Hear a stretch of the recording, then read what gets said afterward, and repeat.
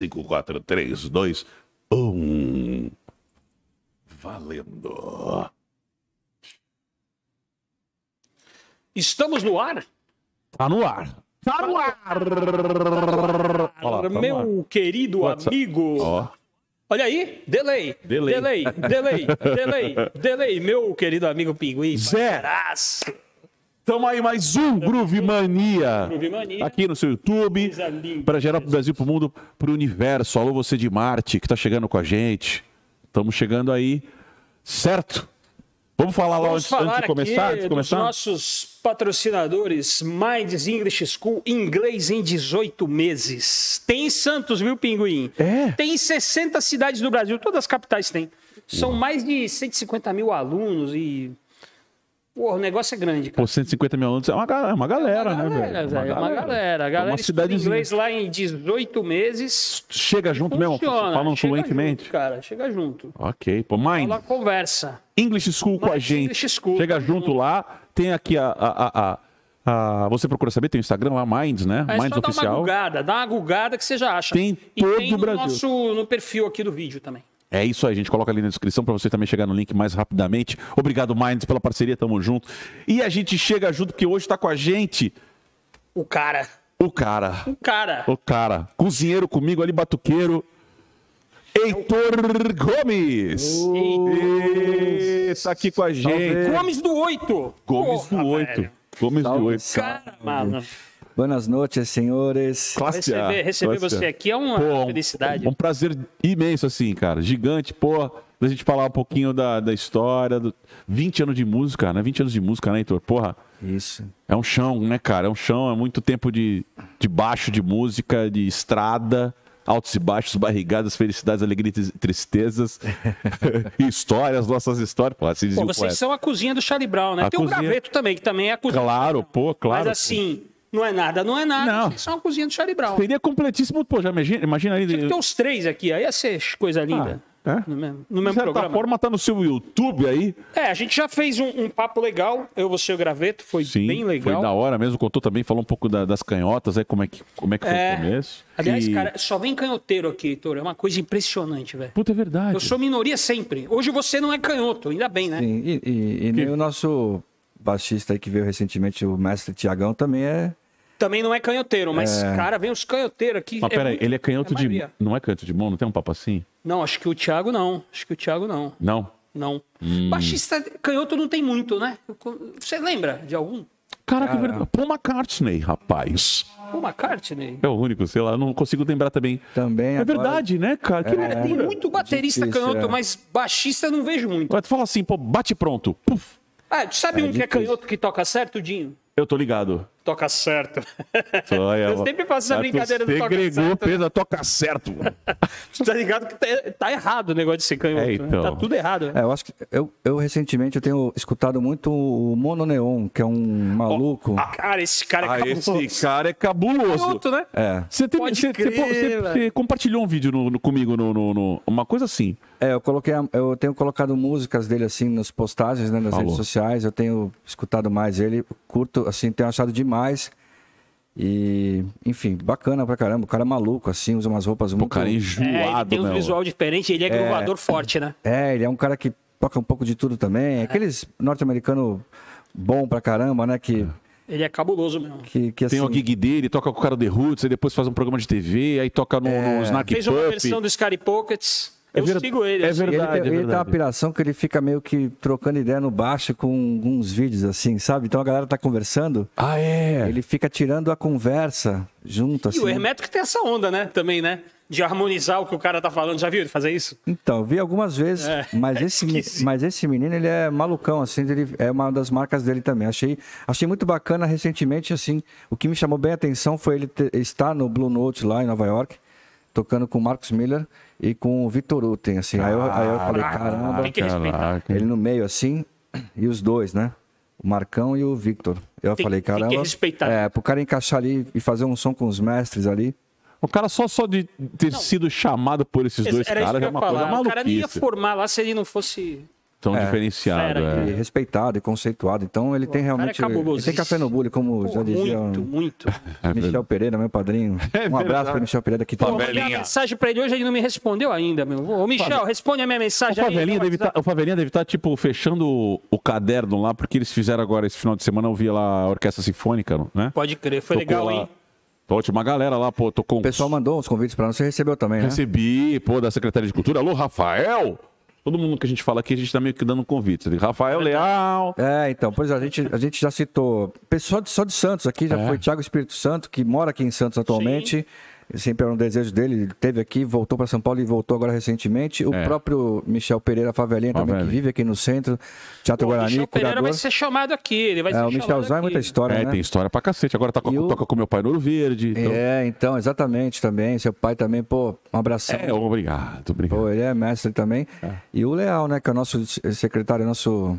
Né? É o cara que fomenta as historinhas aí pra é acontecer. Tocou em São também. Paulo, né? Tocou em São Paulo, foi Supla, Rich, Fernando Abreu, Fernando Abreu. Foi, o cara lá, o O Christopher, o, Felipe Sobral do, do Plebe Hood. Uma galera, é, ah, velho. o Christopher também, o Christopher o Clark. Legal, legal essa. Christopher É. Christopher. Christopher. Ele, ele que começou esse projeto. A gente fez o primeiro Lives Solidários aqui em Santos. Exatamente. Em 2021, na, na- ainda na, no auge da pandemia, né? É. Sim. A gente fez a primeira live solidárias aqui pela, pela Secult aqui, né? Pela Cultura Santos, né? É. E aí já com essa galera Pô, envolvida. vamos falar o resto. Bruno Silveira e Paulo Faria, senão. Ah, é pô, verdade, gente não, ó. dos irmãos todos, né? É, o Bruno Silveira, Paulo Fa- Paulo Faria e Mauro Hector. E Mauro é. Isso. Ah, tem uma menina também que canta, esqueci. Carol Males. Carol, Carol Melis, né? Melis. É, Legal. E, e aí a gente chegou a fazer o, o, o projeto e foi o primeiro, e depois eles fizeram já uma vez, já fizeram clássicos do rock com a orquestra. É ali. verdade. Já Heitor. fizeram com um, o lado mais erudito ali, né? É verdade. E agora- Eu acho que nesses dois primeiros, inclusive, houve arrecadação de cesta Isso, básica. Portanto, que a gente isso. foi lá, mais de 10 toneladas a gente conseguiu. Foi, a gente arrebentou lá, teve, acho que é, bem mais que 10, acho que foi. É. Tava com a Tegrão, né? De, de apoiadora. É do- verdade, a, a, a empresa que estava apoiando, né? Enfim, Pô, tudo aqui de Santos, né? Pô, Tudo- amarrou tudo bonito. Aqui a Pô, Santos aqui. tá viva, né, cara? Santos é cabulosíssima. Tu sabia, cara? pô, sei, cara. Pô, pelo amor de Deus, cara. Cara, a maior banda de rock de brasileiro de todos os tempos saiu de Santos, chama Charlie Brown Jr. Falar? é, Mas é suspeito, muito bom, é. suspeito pra falar, suspeito pra falar. Mas é o seguinte, tem um cara, Bartolomeu de Guzmão, era um padre que ninguém sabe por que a Rua da Praia lá chama Bartolomeu de Guzmão. O cara foi o primeiro voador que teve, voava de balão, era bem louco. Era, É mesmo? Era de Santos, é, cara. Tudo passa por Santos, cara. Se não fosse Santos, não tinha rolado Brasil, eu acho. Porra, O mano. Brasil começou aqui verdade. e daqui sai tudo que é cara fera. É fera da música, é fera do teatro, Pô, é Roberto Barros. Roberto Barros 013, guitarrista aí, Todo mundo cabuloso. monstro. Sabia que eu, eu- eu praticamente vi esse menino no berço? Eu sou o tiozão do programa, né?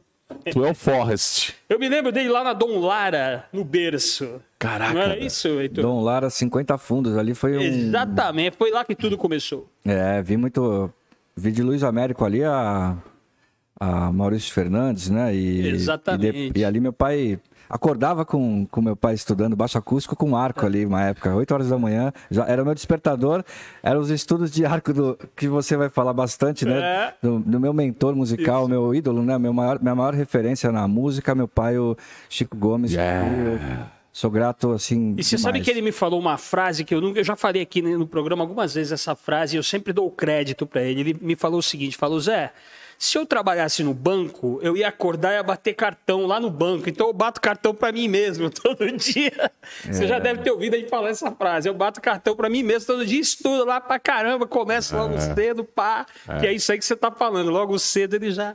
E nessa época do baixo de arco, ele arrumou um método é, do Ron Carter. Tá ligado que o Ron Carter faz aquela parada que ele, ele fica glissando a nota pom, pom, e, e o teu pai pegou o método que ele ensina essa parada aí. Sim. Como é que ele raciocina isso aí? E eu me lembro dele estudando esse método, na época eu tocava com ele, e ele passava o dia inteiro estudando esse, esse pom, pom, pom, pom do Ron Carter no baixo acústico, lá nesse imóvel que eu falei pra vocês que o Michel Pereira tinha uma sala do lado.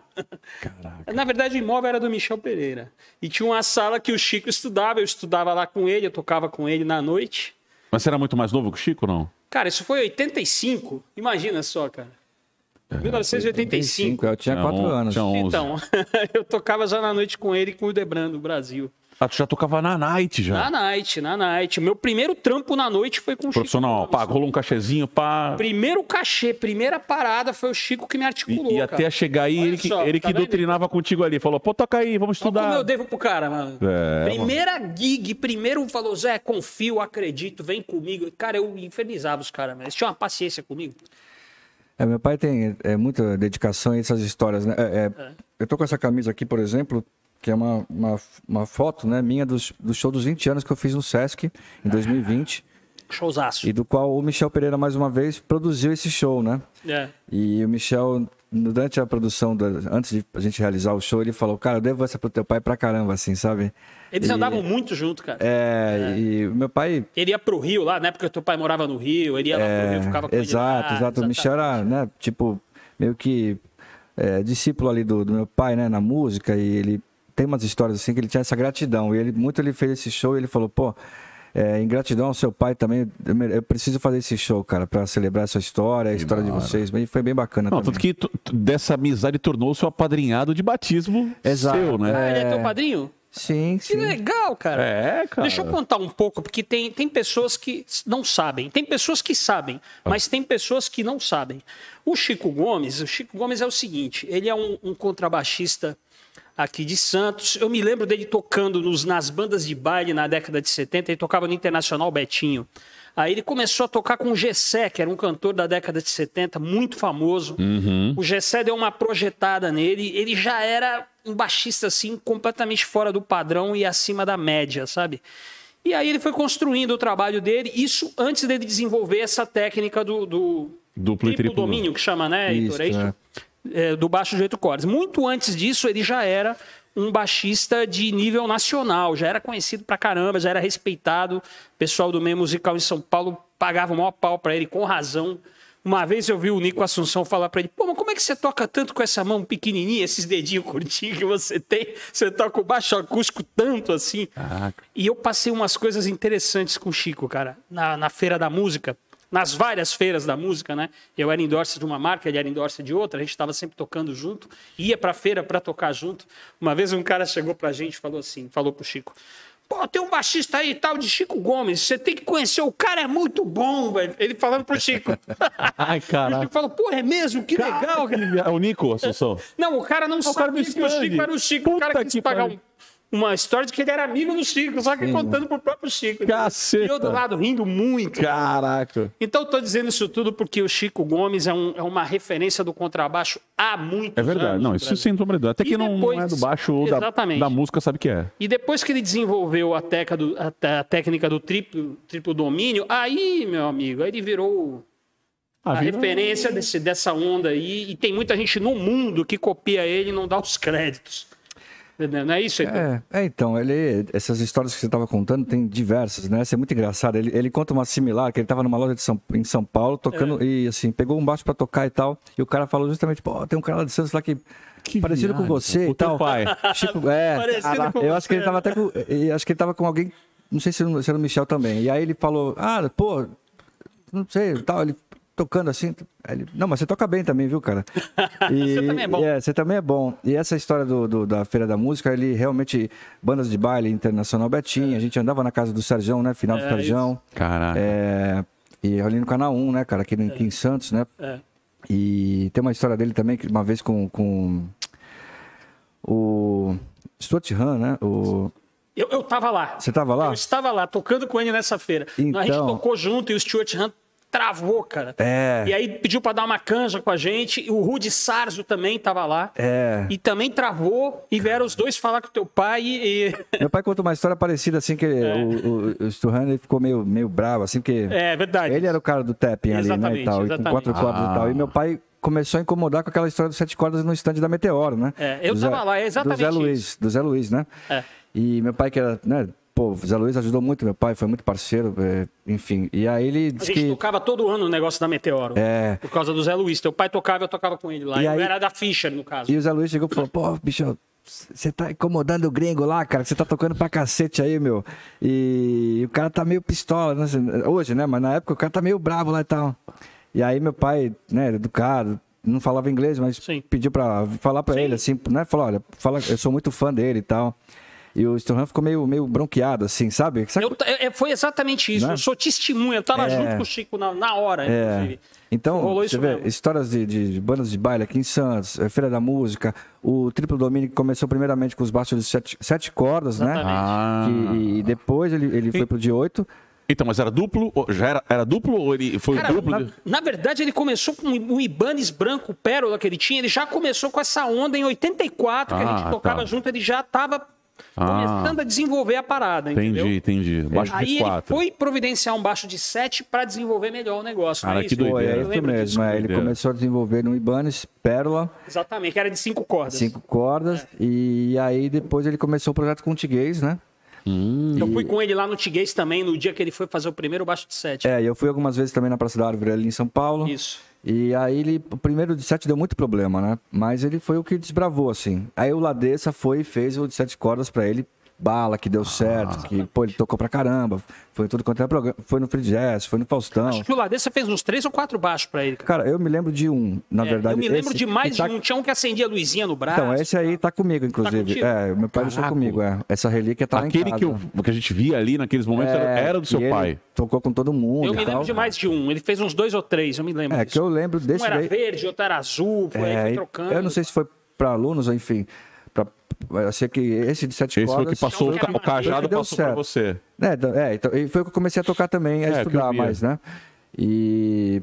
Mas ali depois ele. Aí o Tiguez, pra não ficar por baixo, fez um de oito pra ele na época. Ah. Aquela competição, né? Que a gente Sim, não sim. tinha essa coisa dos luthier no Brasil. Era, era É. muito específico. Era o Ladesse, o Tiguez e um ou outro, né? É, Hoje explodiu, né, cara? tem verdade. muito luthier, tem muita. muita... Hoje tem, é, hoje tem bastante. A galera se especializou, né? É, exatamente. É, É, em deixar o instrumento bala, né? É, muitos caras bons fabricando, né? E, e assim, e, e aí o Tiguez essa história. O Tiguez foi lá e fez um de 8 para não ficar para trás também, sabe? Ah. Aí ele começou com o de 8, ele pegou, deixou numa estante e tal. Ele foi desenvolvendo ali, né? E o de 7 aqui. E aí foi quando ele começou a entrar na onda do mid e tal. Aí ele pegou uma guitarra, aí mid, né? Começou com as, as, as Roland de GR20, GR9 e tal, as pedaleiras mid. E aí ele foi e, e- e deixou de sete cordas. Aí foi quando eu comecei a tocar e aprender a tocar algumas coisas no, no, Ah, no, tri- no- com o triplo domínio. ah. Lá e ali já na época que a gente estava no Charlie Brown entrando, na primeira fase ali, 2005, 2006. Ah, falou. Ali eu comecei a desenvolver. Isso eu meus- lembro, eu lembro que É. você já pegava ali, já pá, tirava, né? Já É. ficava ali, já esboçava, É. mas já tava tocando. É, assim, eu, eu- Pra mim já tava tocando. é, a gente, eu já desenvolvi algumas coisas de tapping no Charlie Brown mesmo, né? A- Isso. A própria. a- Não. A própria Senhor do Tempo, É, que porra, foi do Imunidade. Musical, Isso. já, já consegui imprimir o DNA, né? Ali no, logo de cara, né? Que foi uma, uma, uma inspiração. Como é assim. que o Chorão recebeu isso aí na época? Cara, eu, eu, eu assim, na verdade, eu mostrei pro Thiago no estúdio, né? Porque ficava muitas vezes eu, e o Thiago e o Pinguim É, é. ensaiando. É. E o Chorão às vezes passava, às vezes não passava, e a gente ficava lá trabalhando e fazendo os ensaios. É, e produzindo músicas e tal. A gente estava nessa fase ainda de compor. A gente começou no- na, na Rodrigues Alves, no estúdio do Thiago, e a gente foi para o skate park. E aí, cara, tá nessa fase de, de compor música, o Chorão trazia música, o Thiago trazia música e tal, a gente ia, ia agregando ali os baixos, bateria e tal. E eu, certa vez eu tava em casa assim, eu bati o dedo no instrumento assim, saiu aquele riff ali, tum, tum, tum, tum, tum, É. né? Senhor do tempo assim, numa, meu, numa madrugada em casa assim, eu tocando ali um pouco assim. No dia seguinte eu mostrei pro Thiago, mostrei no estúdio, cara, mostra esse riff pro Chorão e tal. Aí quando eu mostrei pro Chorão, o Chorão na mesma hora parou o ensaio e já começou a escrever a letra. E ele fez até a segunda parte, assim, porque eu não sabia nem pra onde ir, tipo, da música. Eu tinha aquele começo, aquele groove ali. Aí ele foi, puxou minha mão, assim, falou assim, vem aqui, assim, ó, bum, e foi até o sol. Aí eu só fiz o papel de, né, de terminar... De, Continuar desenhando de ali. complementar em cima da, da harmonia, né, da, da tonalidade e tal. Mas foi muito engraçado. Então foi uma inspiração, uma coisa que pintou e... e- Não, e é iconográfico. Aquela, aquele baixo que você faz aquela música é um negócio. Pois É é, cara. é, foi uma inspiração, foi coisa de Deus. E assim, e... e- e- Você vê que era um instrumento de quatro cordas, né? Porque... Ah, você a- fez um de quatro aqui. É, não de cinco, pra falar mais a a- a- tá exatamente, Mas que era o é, Music Man. Era o Music Man, você usava as quatro Só ali. usava as quatro cordas. Não né? usava a. É. E um riff, né? Um, um riff simples, um groove, né? Mas assim, é Sim. de, de bom gosto e ao mesmo tempo. É, meu pai gostava muito, ele, ele falava que lembrava uma música dos Beatles, inclusive. Tinha uma harmonia, porque ela, ela muda o tom no meio dela, né? Ela começa ali em Ré maior, aí depois vai para um Fá maior já modula, muda, é, fica diferente. E, cara, é, Muito legal essa história, porque isso, muitas dessas influências também vêm do Vitor Uten, que é um cara que a gente falou, agora há pouco no começo, né? Que era, foi uma das minhas maiores inspirações naquele, naquela época. É, a própria Futura é um Labirinto, que é uma outra música que trouxe notoriedade e respeito para mim dentro do Charlie Brown, da história do Charlie Brown. Nossa, aí você tava assinando mesmo. É. Falou aqui minha assinatura. É, e o Chorão, ele, ele precisava dessas coisas, né? Eu, assim, eu, eu via isso, eu fui entender isso um pouco depois. Ele sempre precisou, porque senão ele seria um MC. É, cara, mas... Ele era genial porque ele conseguia sacar os caras que eram bons e trazia. É, e assim, ele, ele, ele tinha essa, essa coisa do, do- Ele tinha essa coisa com a musicalidade. Uma ele, sensibilidade É, musical. e foi outra história também que pintou assim, eu, eu tocando aquele riff no estúdio, É. ele parou e falou assim, pô, faz isso aí de novo. Ah. Aí eu fiz ali aquele- aquelas três notas com aquela técnica de slap que muita gente acha que é double thumb.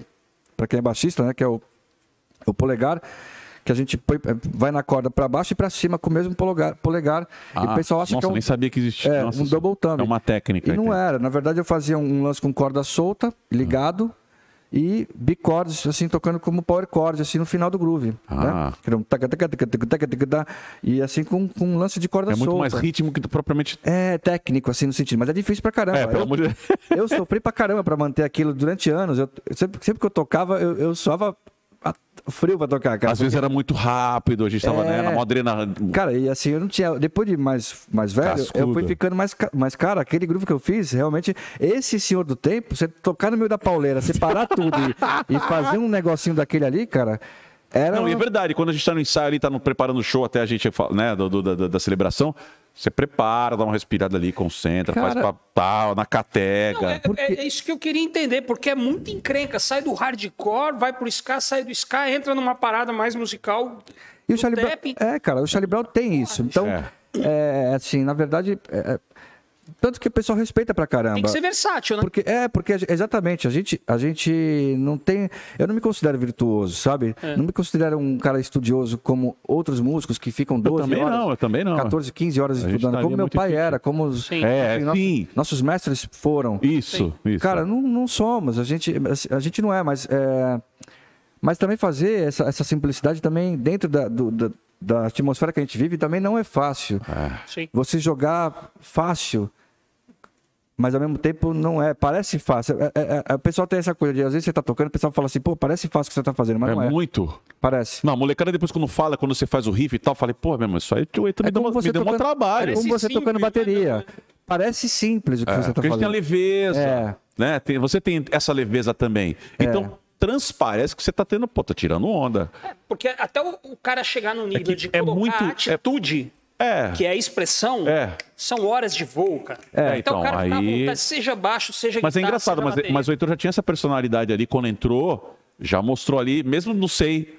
é, você não querendo transparecer, eu não sei intuitivo, não, eu tenho que mostrar que pô, o bagulho é sério, é minha É, mas vida quando no ele rolê. chegou lá, ele já tava, ele já tava correndo aí por Ah, já, fora já, já. há já. muito tempo. Ah, Estão sim. perguntando como é que você começou. Fala aí da primeira banda, Heitor. Como é que foi, velho? Cara, Conta a história aí. É, então, eu comecei tocando banda de garagem, tocando Ramones, tocando punk rock em Santos, festival de escola, é, Karma, Objetivo. é, cara, eu tive bandas assim de molecada. É, Hora o GURPS, foi minha primeira banda, o GURPS, que era o, o Mateuzinho e o Luizinho da Quebrando a Rotina, que era um programa que tinha aqui de humor. É verdade. É, o Quebrando a Rotina. E, e, e- e aí era o Mancha na bateria que até hoje toca na noite. Marcelo Mancha? Isso, é baterista? Que, Olha que velhote! É, o Mancha. Olha, mas pô, ele não tem nem cabelo branco, que sem vergonha. E, era, o- e tinha um menino no vocal que era o Black, que era da, o pessoal era da Liberdade, ali no canal 5, Pô, que ali 6. E aí foi minha primeira banda, que eram alunos do meu pai. Então eu comecei assim, com meu pai me indicando e tal, falando, pô, vocês estão precisando de um baixista? Meu filho tá tocando aqui e tal. Olha. Começou assim. E eu vivia ali no estúdio do meu pai, né? Comecei assim, como o filho do Chico Gomes, né? Aquela coisa, né? E, e aí Eu logo. me lembro todo mundo falando, pô, o filho do Chico tá tocando pra caralho. Não, mano, isso era É, notório, era, era- notório. é. E no começo era mais assim, a- o peso de ser o filho do Chico do que ele Exatamente. tocando mesmo, né? Eu carregava muito essa coisa do filho do Chico Gomes. Mas beleza, eu também tinha o ímpeto, claro. E quando eu peguei paixão pela música, eu fiquei louco, porque eu demorei pra tocar. Eu comecei a tocar com 15 para 16 anos. Eu fui jogar bola, jogava bola no Portuários, no futebol de campo. Cheguei E joga bem. Não, Joga bem, joga cheguei, bem. cheguei a disputar torneiozinho interno aqui em Santos. Cara, só Portuário, tem, campo. só tem boleiro no Charlie Brown, é É isso mesmo? Porque Mas o eu Graveto não. também era boleiro, É. né? Não, só ele e o graveto. Cara, ele e o o Graveto. resto é tudo Valderrame. Não, não, não. A- gente- o Thiago Não, Marcão. Thiago, pelo amor de Deus. É. não Não, eu acho que. Eu não sei, pô, o Thiago posso estar enganado, eu nunca vi jogando bola. gosta mesmo. Eu- eu- assim, O campeão pagava de boleiro também, viu? Não sei, acho que. o campeão eu vi ele uma vez jogando no Rock Go lá também, eu achei ele bem desengonçado, né? Assim, tipo, É, o pessoal era bem é, desengonçadão, né? Correndo, É, é, é. Exato, exato, exato. O é. Supla jogava. Não, o Supla, Supla o, jogava. é, tem muitos o caras Marcão bons. ali, eu não, não lembro se o Marcão ficava no gol, ele revezava com o pelado, eu não lembro. Eu, não- Eu é, posso estar falando o Pelado acho que era o goleiro, né? Acho que É. o Pelado era boleiro também. também É, cara, eu vou te falar, a turma O do Brown ali não... frequentava mais a praia era o É, goleiro. né? É, a, galera- é, assim, a gente tinha essa coisa. Meu pai gostava muito de futebol também. Ah, né? é? meu Puxa, pai também adorava futebol. Eu me dediquei ao futebol e peguei onda quando era moleque. E, Ah. e meus pais se separaram na época e eu fiquei mais afastado do meu pai. Então, é, dos meus oito ali, os nove anos quando se separaram, até os 14, era futebol e praia. A e surf. música não era o tempo todo como era. Não era, não estava nem ligado na música, nem Caraca, tocava. que doideira. Mas eu arranhava com oito anos, eu vivia na, na, na- casa da minha avó. Ah, tá. É. Tinha aquela Tava coisa. respirando. Respirava ali, vivia aquela coisa com meu pai, mas depois me afastei. Claro. Com 15 para 16, eu comecei a estudar Mi, Lá, Ré, Sol, A, Mi, Fá, Sol. Comecei com 15 para 16. Falou. Aí, com, aí comecei com essa molecada, aí depois já pintou o Matheus da, da banda, que era da banda Garrafa aqui em Santos, o Matheus. eh, Tinha um Gaex, que Matheus era um, Cordela. é, guitarrista. Cordela. E aí, ele, boa, aí eu toquei com ele na banda dele, o Gaex, na época que, que, que o Manso também era batera, aí tinha o Leandro no vocal e tal, o Rodinei na guitarra. Caraca, velho. Aí começou, não parou mais. Tive o Hot Grogs com o DJ Ruivo, que hoje é produtor. Essa foi, minha lembro, prime- me lembro essa foi minha primeira visão sua tocando numa. Assim. Mas é- nessa ele já tava na. na Não, é, não, na completamente, noite porque a gente É. tocou, eu toquei com o Raj Kabong, a gente tocou junto no, onde, era, onde era o Pink Panther.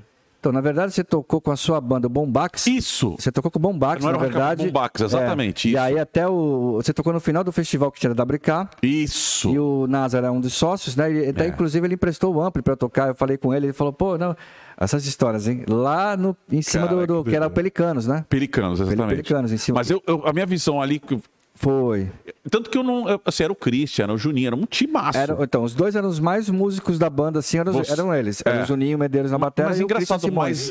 Tanto que eu não, eu não, eu não. Pra mim, eu não. Eu não vi nem musicalidade, cara. Eu vi atitude no palco. Eu vi você É. pulando assim, cara. Sim, eu era- é. Eu falei, caralho, meu, que. É, tinha Era diferente. É, porque eu tinha... diferente. o que acontece? A gente tinha a influência do Charlie Brown. O Charlie Brown, quando estourou aqui, eu tava começando a tocar, em Ah. 97. Eu que nem tava falando esses dias no- na rede social. É... Eu trabalhava no Bar do 3, no, no- na casa noturna Pode crer, do Michel. Eu fui office boy quatro anos. Eu É. trabalhei Eu dos lembro 14 aos disso. 18. Me Então, lembro eu, era- disso. eu fazia tudo ali no Bar do 3. Eu recebia a banda, ligava a caixa, a, a caixa de luz do palco, ligava tudo. Eu Era fazia um pouco de tudo. Rece- é, recebia mercadoria, shopping, não sei o quê, ia, ia, ia pagar conta e tal.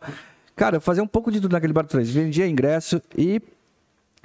Cara, é, a gente. Eu vi o primeiro CD do Charlie Brown ali. E ali, depois, cara, é, é, essa cena dos anos 90 foi muito inspira assim, foi muito aquela coisa pra gente, a MTV. Pra todo mundo. Pô, aquela loucura. A gente vendo uma banda aqui de Santos. Eu, eu ensaiava com o GURPS no, no Dakota, no canal 4, a sala, e do outro lado tinha o- as salas dos caras, né? Que, Pode crer. Que tinha já o garagem, tinha já o, o- o Charlie Brown. né? Isso. E aí, cara, eu botava o ouvido assim na parede pra ficar escutando o Charlie Brown, assim, ó. E os caras ensaiando proibida pra mim, os caras ensaiando quinta-feira e tal. Então a gente ficava ali no- na, na sala, no outro lado do Dakota. É. Cara, os caras estão tocando proibida pra mim, ó. Aí a gente olhava, acabava o ensaio, os caras lá embaixo. Pô, tá, vambora, tal. Então a gente ficava naquela piração. Era. Era, foi Era um- referência, né? Foi referência, né, pra gente aqui, né, cara? E, Não teve jeito, foi mesmo. foi, e, cara, a gente ficou louco. Então eu falava, cara. é- aquilo E era pra uma mim- referência de atitude, que uma coisa. Uma vez, cara, eu me lembro que essa história de Feira da Música, eu articulei lá um negócio pro Charlie Brown tocar lá no negócio da Meteoro, do Zé Luiz. Cara, e o choro subiu no bagulho lá, caiu tudo, e quase destruiu o stand. Pô, leva esses caras embora daqui, você tá louco? Não sei o quê. Já era, já era outra história. Eles estão falando disso aí sempre justamente. teve essa atitude, É. cara. Ele tinha muita atitude, cara. eu tô falando justamente dessa atitude por conta do que a gente tava lembrando desse show no Pelicanos com o Bombax, que uma banda que você cantava, inclusive, né? Isso. Pela vocal. Isso. E, e a, a gente tinha essa atitude muito por conta dessa referência também do Charlie Brown, É. sabe? Ah, é, mas era visível, cara. E, o, e o Ruivo por causa do Chorão, e eu também por causa do Champião, porque assim, é, o Champião sempre foi uma das minhas principais referências. É.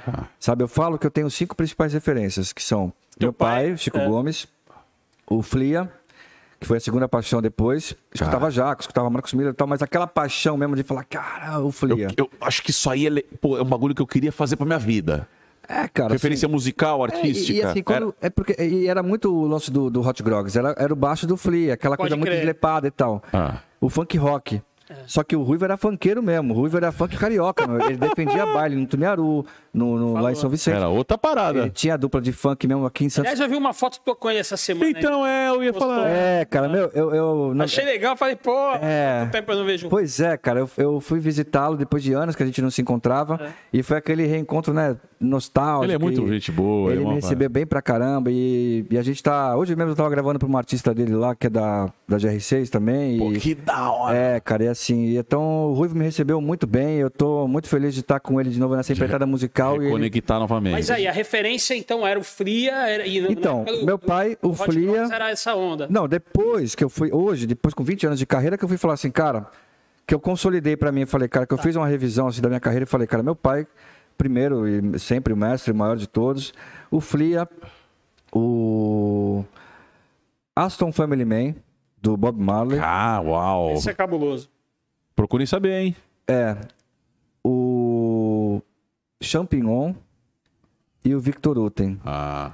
Então, Que assim, engraçado que não é o Jaco, né? Que normalmente os caras. "Ah, Jaco, Jaco, Jaco. pois é, cara, eu, eu- eu tive um momento assim... Não que você não reconheça, eu sei que Não, você eu tive um reconhece. momento que eu ficava estudando, pô, Jaco pra caramba, só que é, eu acabei indo mais pra essa onda do, do, do, do lance do slap mesmo, né? Então, pra mim era mais. o- E você pulou o Marcos Miller, foi direto pro Vitor Uto. Cara, o Marcos Miller também é, é- é genial, eu adoro também. Tem coisas que, que às vezes eu lembro, o Marcos, Então, eu é o gosto. fãzaço do Marcos Miller? A gente ficava ouvindo e, e ele falava, pô, Marcos Miller, e eu não gostava. Eu falava, poxa, não sei se eu gosto. Eu, eu posso ser engraçado, eu posso, Fala. posso estar falando até algumas heresias aqui, sei lá, mas eu acho que desses cinco que você falou como referências musicais, pra você construir a sua carreira e falar, poxa, eu sou o cara completo por causa de ouvir muitas das cinco pessoas, eu digo composição artística.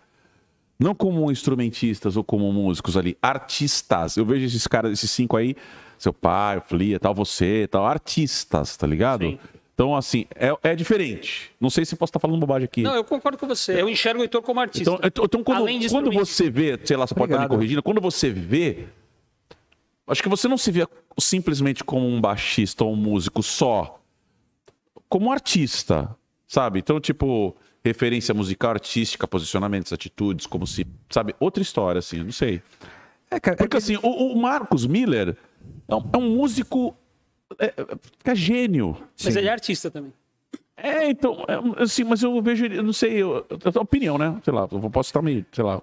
Cancela aí, molecadinha, mas eu digo que é, Imagina, é, é que aí que tá. eu não, eu não sei. Isso, eu Pode tive me que ajudar. fazer isso justamente num release desse show dos 20 anos. Que Uhum. quando fala assim, ó, cara, você tem que escolher cinco principais referências. Aham. E aí eu consegui fazer essa peneira não com, não, não com muita dificuldade, mas fácil assim, cara. Então, é, você escuta de muitos. Eu, deixei Robert Trujillo de fora, é, deixei Les Claypool de fora. Direito, caramba. É, pô, deixei muito. Les Claypool. Deixei John Paul Jones, que eu adorava, escutava Led Zeppelin 4 pra cacete.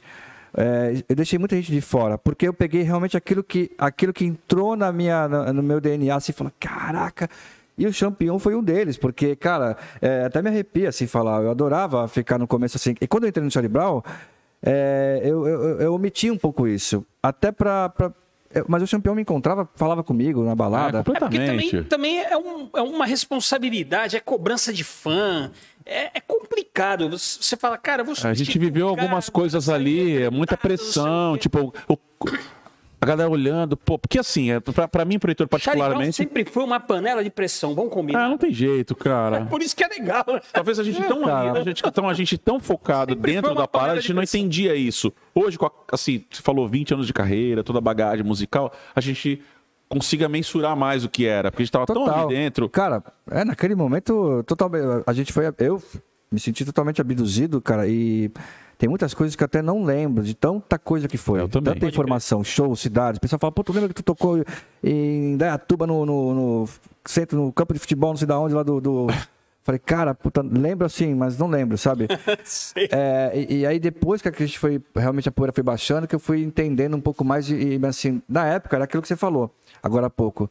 É, só, é, realmente eu só queria sab- saber de tocar bem. E passar aquela arrebentação. Aquilo ali parecia uma arrebentação, tipo. Tipo, você fez a comparação certa do surfer, uma arrebentação. É, parecia, sei lá. É, Cara, o tô I- remando, passei pro tomei mó Cara, caldo. Bluf, é o Short Break, assim, sabe? Não era nem pra, É. é, tipo o Imer Short Break, que é o mais mexidão, que era um dos maiores ali de, de, né, do Havaí. E assim, cara, mas passamos. é, eu lembro que o senhor falava assim pra mim, chegava assim, conversava, eu falei, cara, mano, tu tem uma sorte, velho, que tu passou na parada, velho, tu conseguiu agradar. Ele- Porque a cobrança é imensa, né, cara? é, mas é claro, tinha talento também, mas assim, ele Sim. falou, cara, meu, porque assim, engraçado, cara, porque o começo foi bem difícil, né? A- aquela coisa da aceitação. E pra ele também, ele foi muito questionado. O Chorão foi um, É. o, o, o muro, o, o meu muro foi só o segundo mais alto. eh, O mais alto foi o do Chorão. Sim. Que ele tinha que provar que ele era o cara, que ele era o, o band leader, o frontman, que, que ele não era isso, não era aquilo e tal, tal, tal. É. E eu, eu sempre falo que aquela historinha do muro, sabe o muro alto que o cara põe a mão assim, pô, pisa aqui pra pular? Pode crer. Então, o Chorão, ele, ele fez isso pra mim. Ele falou: vem cá, Heitor, pisa aqui ó, que eu vou te ajudar a pular. Ele foi um cara que me protegeu. Eu me senti protegido pra caramba por ele. E por isso que eu tenho ele como Ele, meu... ele chamava pra ele a bronca, né? É, e Sim. por isso que eu, tinha ele, eu tenho ele como meu padrinho é, do rock. Porque realmente ele me abençoou, cara. É, então eu consegui, graças muitas coisas que eu tenho, toda a notoriedade que eu tenho na música, é muito graças ao Charlie Brown e ao Chorão. Mas aquela coisa que você falou, a, a- a turbulência da nave era sempre gigante, né? Gigantesca, Gigantesca. é, é. Era, era complicado você. Era banda de rock mesmo, ainda Não, é, né? cara, assim, olha. banda de rock. Meu, quando começou a ter um. Assim, Vocês estão fazendo 30 anos aí, é uma banda de rock. Eu falei isso no outro programa, desculpe te cortar. Imagina, Se que o isso. Chorão tivesse vivo, eu falei isso no outro programa que tava, o- que tava o, o graveto. É.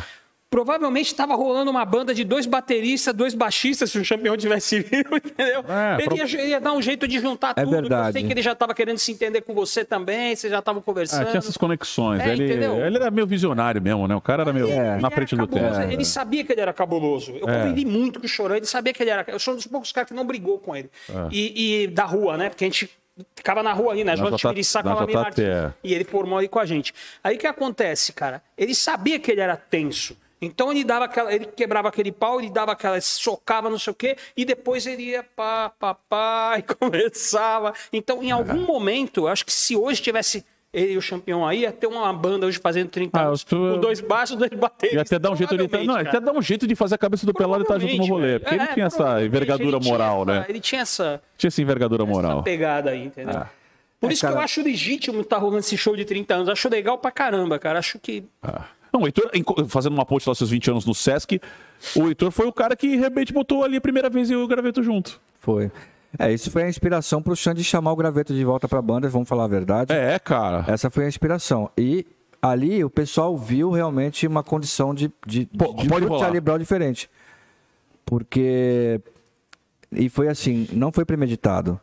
O Michel, como baterista e produtor, que é bom, um dos melhores que eu já trabalhei, que modéstia à parte é meu padrinho, ele falou, Heitor, o que, que você acha de a gente colocar uma outra bateria por causa do graveto é canhoto, pra gente não ter que trocar a bateria de- no meio do show, É cara? uma Não vai coisa dar- técnica, em vai princípio. atrasar o rolê, sabe? Vai atrasar a produção do show. É. Na hora de passar. Tem porque- que virar ao contrário, É, porque- microfone. É, cacete. eu falei, cara, você acha que é possível? Ele, não, eu acho. A mesa comporta e tal, a gente arruma outra bateria. E o Michel, né, pô, pra ele foi, foi nada, né? Foi lá, arrumou e ainda fez a pele do show dos 20 anos, que eu tenho até hoje guardada lá no estúdio. É verdade, irmão. Eu tenho maior carinho. Que, e assim, Charlie Brown, CPM, é, Gomes, é, Gomes do 8, Pavilhão 9 e fechou Charlie Brown, sabe? Então, eu consegui fazer um... Showzaço. É, um showzaço, cara. E, poxa, eu tive a honra de... Nossa, você botou uma galera no palco lá, cara, velho. tive a honra de ter... é, Inclusive, o, o, Thiago falou disso aí. Pô, ti- é, então, eu também fui... falou disso aí. É, é, então, exatamente. é, eu, eu também cheguei. é, eu trouxe meu ídolo, na verdade, aquilo foi um presente que eu me dei nesse show, porque eu pensei nas referências. O que a montagem do show era as bandas, as quatro bandas e mais influências. Então eu toquei é, Led Zeppelin na abertura do show, que era do disco 4, que muito que eu escutei aquele disco, eu falei, não, cara, eu quero tocar essa música. É. E depois eu toquei Californication do Red Hot Chili Peppers no Gomes do 8, solo.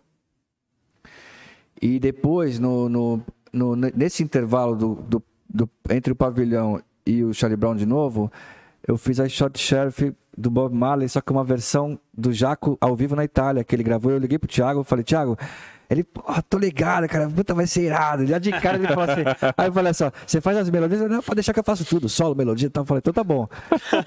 aí ele. Aí, que tom que você.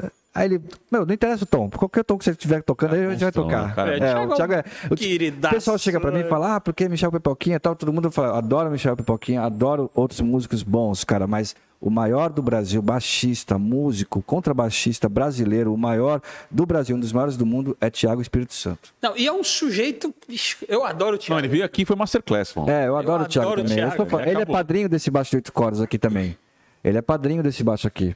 Ah, Porque quando eu fui pro CPM, o CPM tinha um endorser do N Zaganin. Então Ah, a é? gente regulava os instrumentos no Zaganin e tudo mais. É, o Thiago é Zaganin também. o Thiago é Zaganin. É. E aquele aí- fretless dele, Zagarin, também? Não, aquele, não- aquele, aquele é... era Jaco, aquele era Fender Não, mesmo, esse, né? é- esse que ele trouxe no programa é Fender, mas ele mandou lá pro Zaga dar uma, dar uma Ah, geral tá, tá. nele. É, mas ele tem uns cinco cordas Botou que é... epóxi ele teve ali, vários, né? mas- É. É, inclusive, eu tenho um que é herança também, que é presente, um, um jazz bass, que era dele.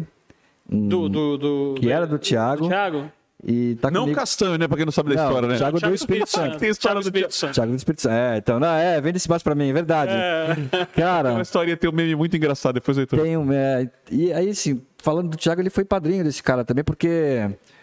É, em É, 2014. o Thiago foi um dos caras. O, o Zaga, eu acho que pode- a gente pode dizer que ele deve ser o maior, o maior luthier do Brasil hoje. Pra mim é o maior É luthier do Brasil e um dos maiores do um dos mundo maiores também. Do mundo. É. É. difícil você falar essas coisas assim, né? Porque a gente acaba deixando de fora caras muito Não, bons. o próprio. Heitor falou, Mas pô, deixei um monte de é músico uma de fora, mas é a referência. né? Exatamente. E o Thiago, do Espírito Santo, foi um dos caras que, que meio que projetou o Zaga, porque as pessoas não conhecer Mas você, o pega o Thiago histó- tocando. mas você tem que pegar o histórico. O Zaganin, cara, é- é- tem instrumento. A Marisa Monte usa N Zaganin. O Marcelo, Mar- o Marcelo Mariano usa N Zaganin. O Thiago usa N Zaganin. O Marcinho Lécio- Eiras. Lécio Nascimento, Zaine Zaganin. é, o Marcinho Eiras usa Zagajima. É, Zagajima. Zagajima. O Edu usa Zaga- O Zagajima. Eduardo usa Eduardo Zagajima. O Michel Pipaquinha usa Zaga- Zagajimas. Hoje usam os Zagajimas O por quê? Arthur Maia usava Zagajima. Zagajima por quê? Porque o, o, o Zaganin, ele é uma coisa mais custom shop. Sim. E o Tajima já é mais aquela coisa do business. Então, Sim. os músicos, eles, eles têm essa, esse endorse, eles, até uma coisa é, tratado financeiramente para usar a marca. Ah. Então, esses músicos fazem parte de um casting da Cara, Tajima. os maiores baixistas do Brasil usam Zaganin. Heitor, Pode crer. O Champion usava também, no antes, antes dele se evoluir, ele estava com um Tajima cinco cordas branco. Um, É. um N Zaganin. Jazz Bass. é. Aquele que ele grava o DVD lá que ele tá Falou. tocando em Curitiba e tal, pode ver, é um N Zaganin branco, cinco cordas, Jazz Pode Bass. crer. É um N Zaganin. E o Zaganin conta essa história, que ele também era é parceiro do... do, do Ô, Zaga, vem no programa aí contar as histórias. do- O Zaga é artista, cara. O Zaga Pô, é um... olha ca- só, cara, Heitor Gomes, Zaganin, Pipoquinha, Zaganin. Pipoquinha, você- É, quer você dizer, tem- é- é eu tenho que falar do Tajima, Zaga- Zaga- Zagajima. É. É, é, Thiago Espírito Santo, Zaganin, Glécio Nascimento, Zaganin. Cara, Nossa. os baixistas mais top do Zaganin. 013, dá Eu licença? uso, eu todos aí. uso é, Zagajima. Zagajima. Um, O dia Zaga... serei, um dia serei baixista, tô estudando, hein, Pinguim. O você é é ótimo. Forrest O, o Wilson, o Wilson que é gerente Mas do é obrigado. O Wilson que é gerente verdade. do, do, do, do Márcio há 30 anos lá, braço direito dele. Eu conversando com uma vez com ele, falando, cara, é, é para fazer um outro baixo assim, de cinco cordas e tal, ele. Mas aí, o que, que você vai querer, né? O, o próprio Márcio falava, mas então, você vai querer o quê? É, Zaganinho ou Tajima? Eu falei, ah, não sei, Márcio. é, Não, você que sabe, se você quiser. Aí, uma vez eu falando com o Wilson também, aí ele. é, bom, sabe que se for Tajima vai ser Zagajima, né? Então o Wilson meteu essa aí. Um beijo pro Wilson também, querido. eh, Pô, pessoa maravilhosa. É, o Rafael também dá- trabalha com ele, toda a equipe Fala, do fala a galera toda aí, porque são É, Pô, fala todo mundo. É, toda- a turma toda lá, são todos queridos, cara. É realmente.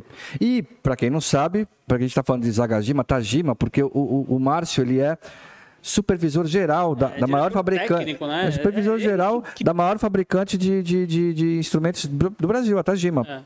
Então ele viaja periodicamente para a China para visitar as fábricas e fazer o controle de qualidade lá e tudo mais. Não, e eu vou te falar que é verdade, porque eu tinha um Tajima, eu tinha um, um Jazz Bass de antes do Zaga e tem um de depois. E mudou muito, cara. Ah, não, total. Realmente. Quando chega o Zaganin. Nossa, cara. Ah, É outro braço. E a Tajima é hoje tem parada. Tajima USA, cresceu muito isso com, mesmo. com o Marcelo, É. sabe? Ele vai para a Alemanha em feiras de música, vai para os Estados Unidos. Meu, cresceram muito E É, graças você- ao trabalho. da marca, assim, o próprio Zaganinho, o próprio Tajima, assim, quem não é baixista ou, um instrumento de corda, ele, ele sabe, ele sabe, ele sabe. Tem pergunta aqui, tem pergunta. A Yasmin tá perguntando se você tocaria nas alturas, pulando de paraquedas e tocando baixo. Ó, ideia boa, hein? Vamos fazer um vídeo dele. paraquedas. Eu, eu, eu, to- olha, eu tocaria, eu tocaria. Se não comprometesse o meu. A, pe- a performance. Não, se não comprometesse a performance do, do, do quem, pulo. quem vai pousar, né? Porque na verdade eu só fui muito graças ao. É, agradecer ao pessoal da Céu Azul Paraquedismo de Boituva.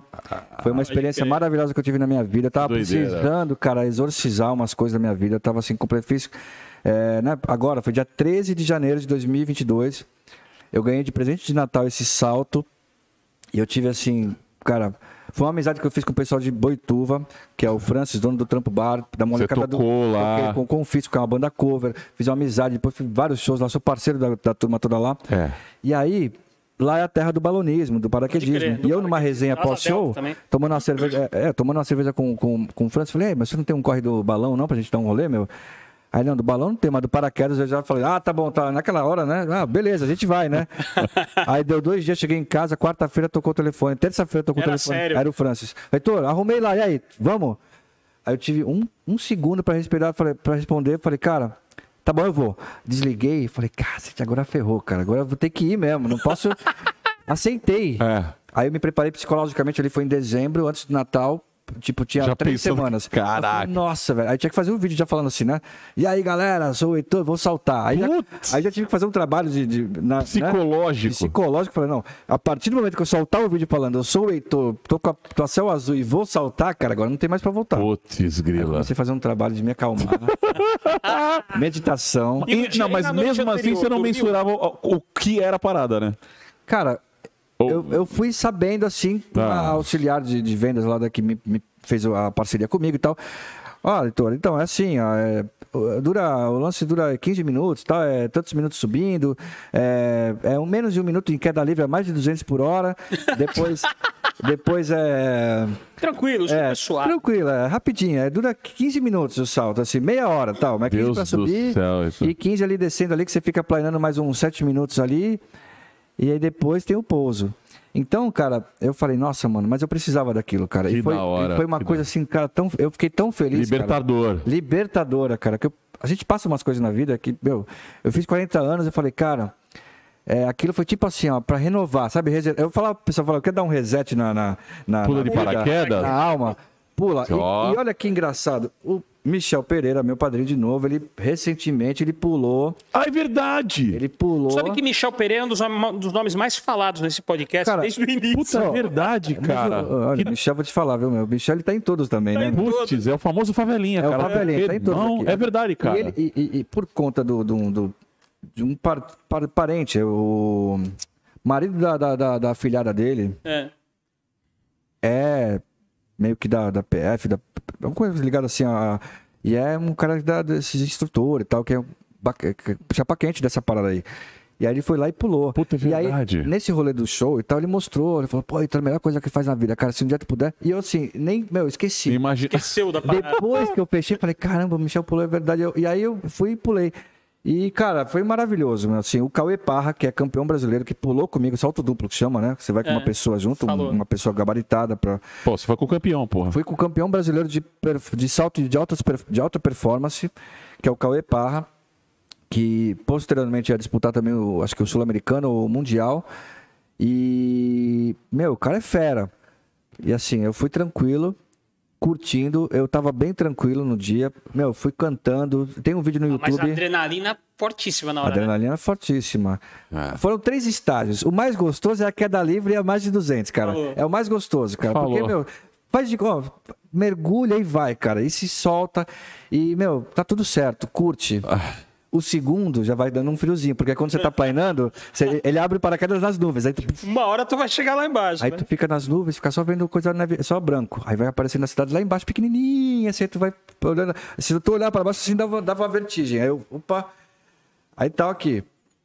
Beleza, aí, vai, aí tava ali cantando, ainda curtindo e tal. Quando ele, quando ele faz o. Quando ele começa a fazer o. Aproximação. Aproximação. Aí tem que fazer as balizas pra, pra pousar. Meu amigo, ali é 10 vezes pior montanha russa. Ah. 100 vezes.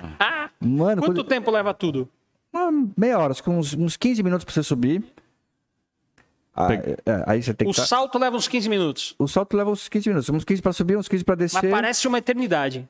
Cara, é rápido. Quando, É? quando acabou, dá vontade de ir de novo, de cara. Você fica louco. Assim, depois você pousa, vai uma vez. É tipo criança no escorregador. É, né? Montanha, Exatamente. montanha russa, montanha russa. Cara, montanha Vê russa. que é legal, é seguro, pô, eu quero. É, só que 10 vezes pior. E assim, é, cara, a gente. Quando abre a escotilha, então, cara, quando você tá dentro do aviãozinho, um aviãozinho pequenininho, você, tem que, você fica meio assim. Ah. E quando abre a escotilha, os caras começam a pular e vai enfileirado assim, ó. Vai aquele- chegar a tua hora. Aí fica aquela turbulência, aquele ventão lá dentro. Caralho, que doideira. Mas eu tava tão legal, cara. Graças, eu tava- Felizão, felizão, é. tava tranquilo, cantando, não sei o que. O Cauê tava, viu que eu tava tranquilo. Ele falou assim: Birinho, que era o, o menino que pulou junto pra filmar. E ele vai filmando com a mão, assim, uma GoPro na mão, e vai um menino junto com, com a GoPro na cabeça, o Birinho.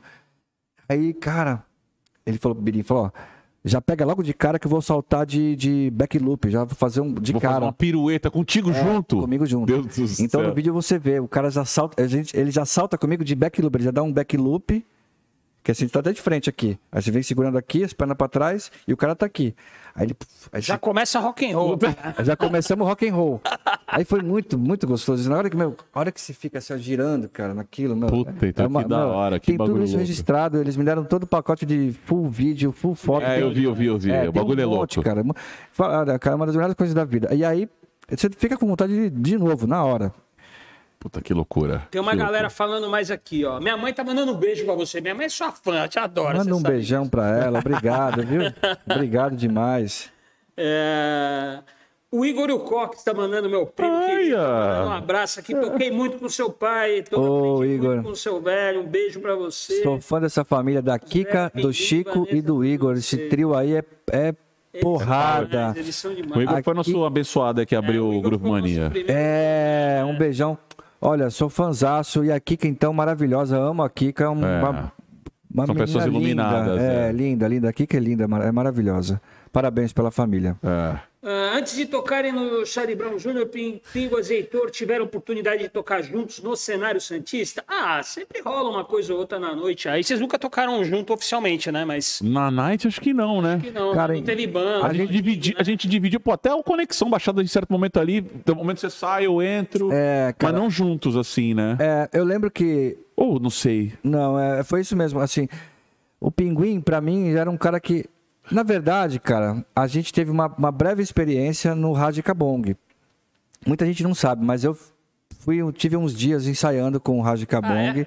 Com o. Antes do Marquito. Antes do Marquito? Não, depois. o Depois Marquito do foi pra Europa. Pode crer. E aí, É cara. verdade, quando a gente, tipo, tava, a gente tava planejando fazer um segundo disco. Exato. Aí eu cheguei a ensaiar com você, com o. Mas eu e o Thiago. Mas eu e o Thiago. Putz, é E eu, ti, e eu fazia. E eu É tive, verdade. é, e eu tive banda com o Thiago. Era eu, o Thiago e o, e o menino que, que tá- hoje trabalha com o Posca, o Léo, que é o Léo guru. Moretti. Léo Moretti, Léo, o guru. Pô, intercação. É. Pô, Então, eu, eu, eu tive banda.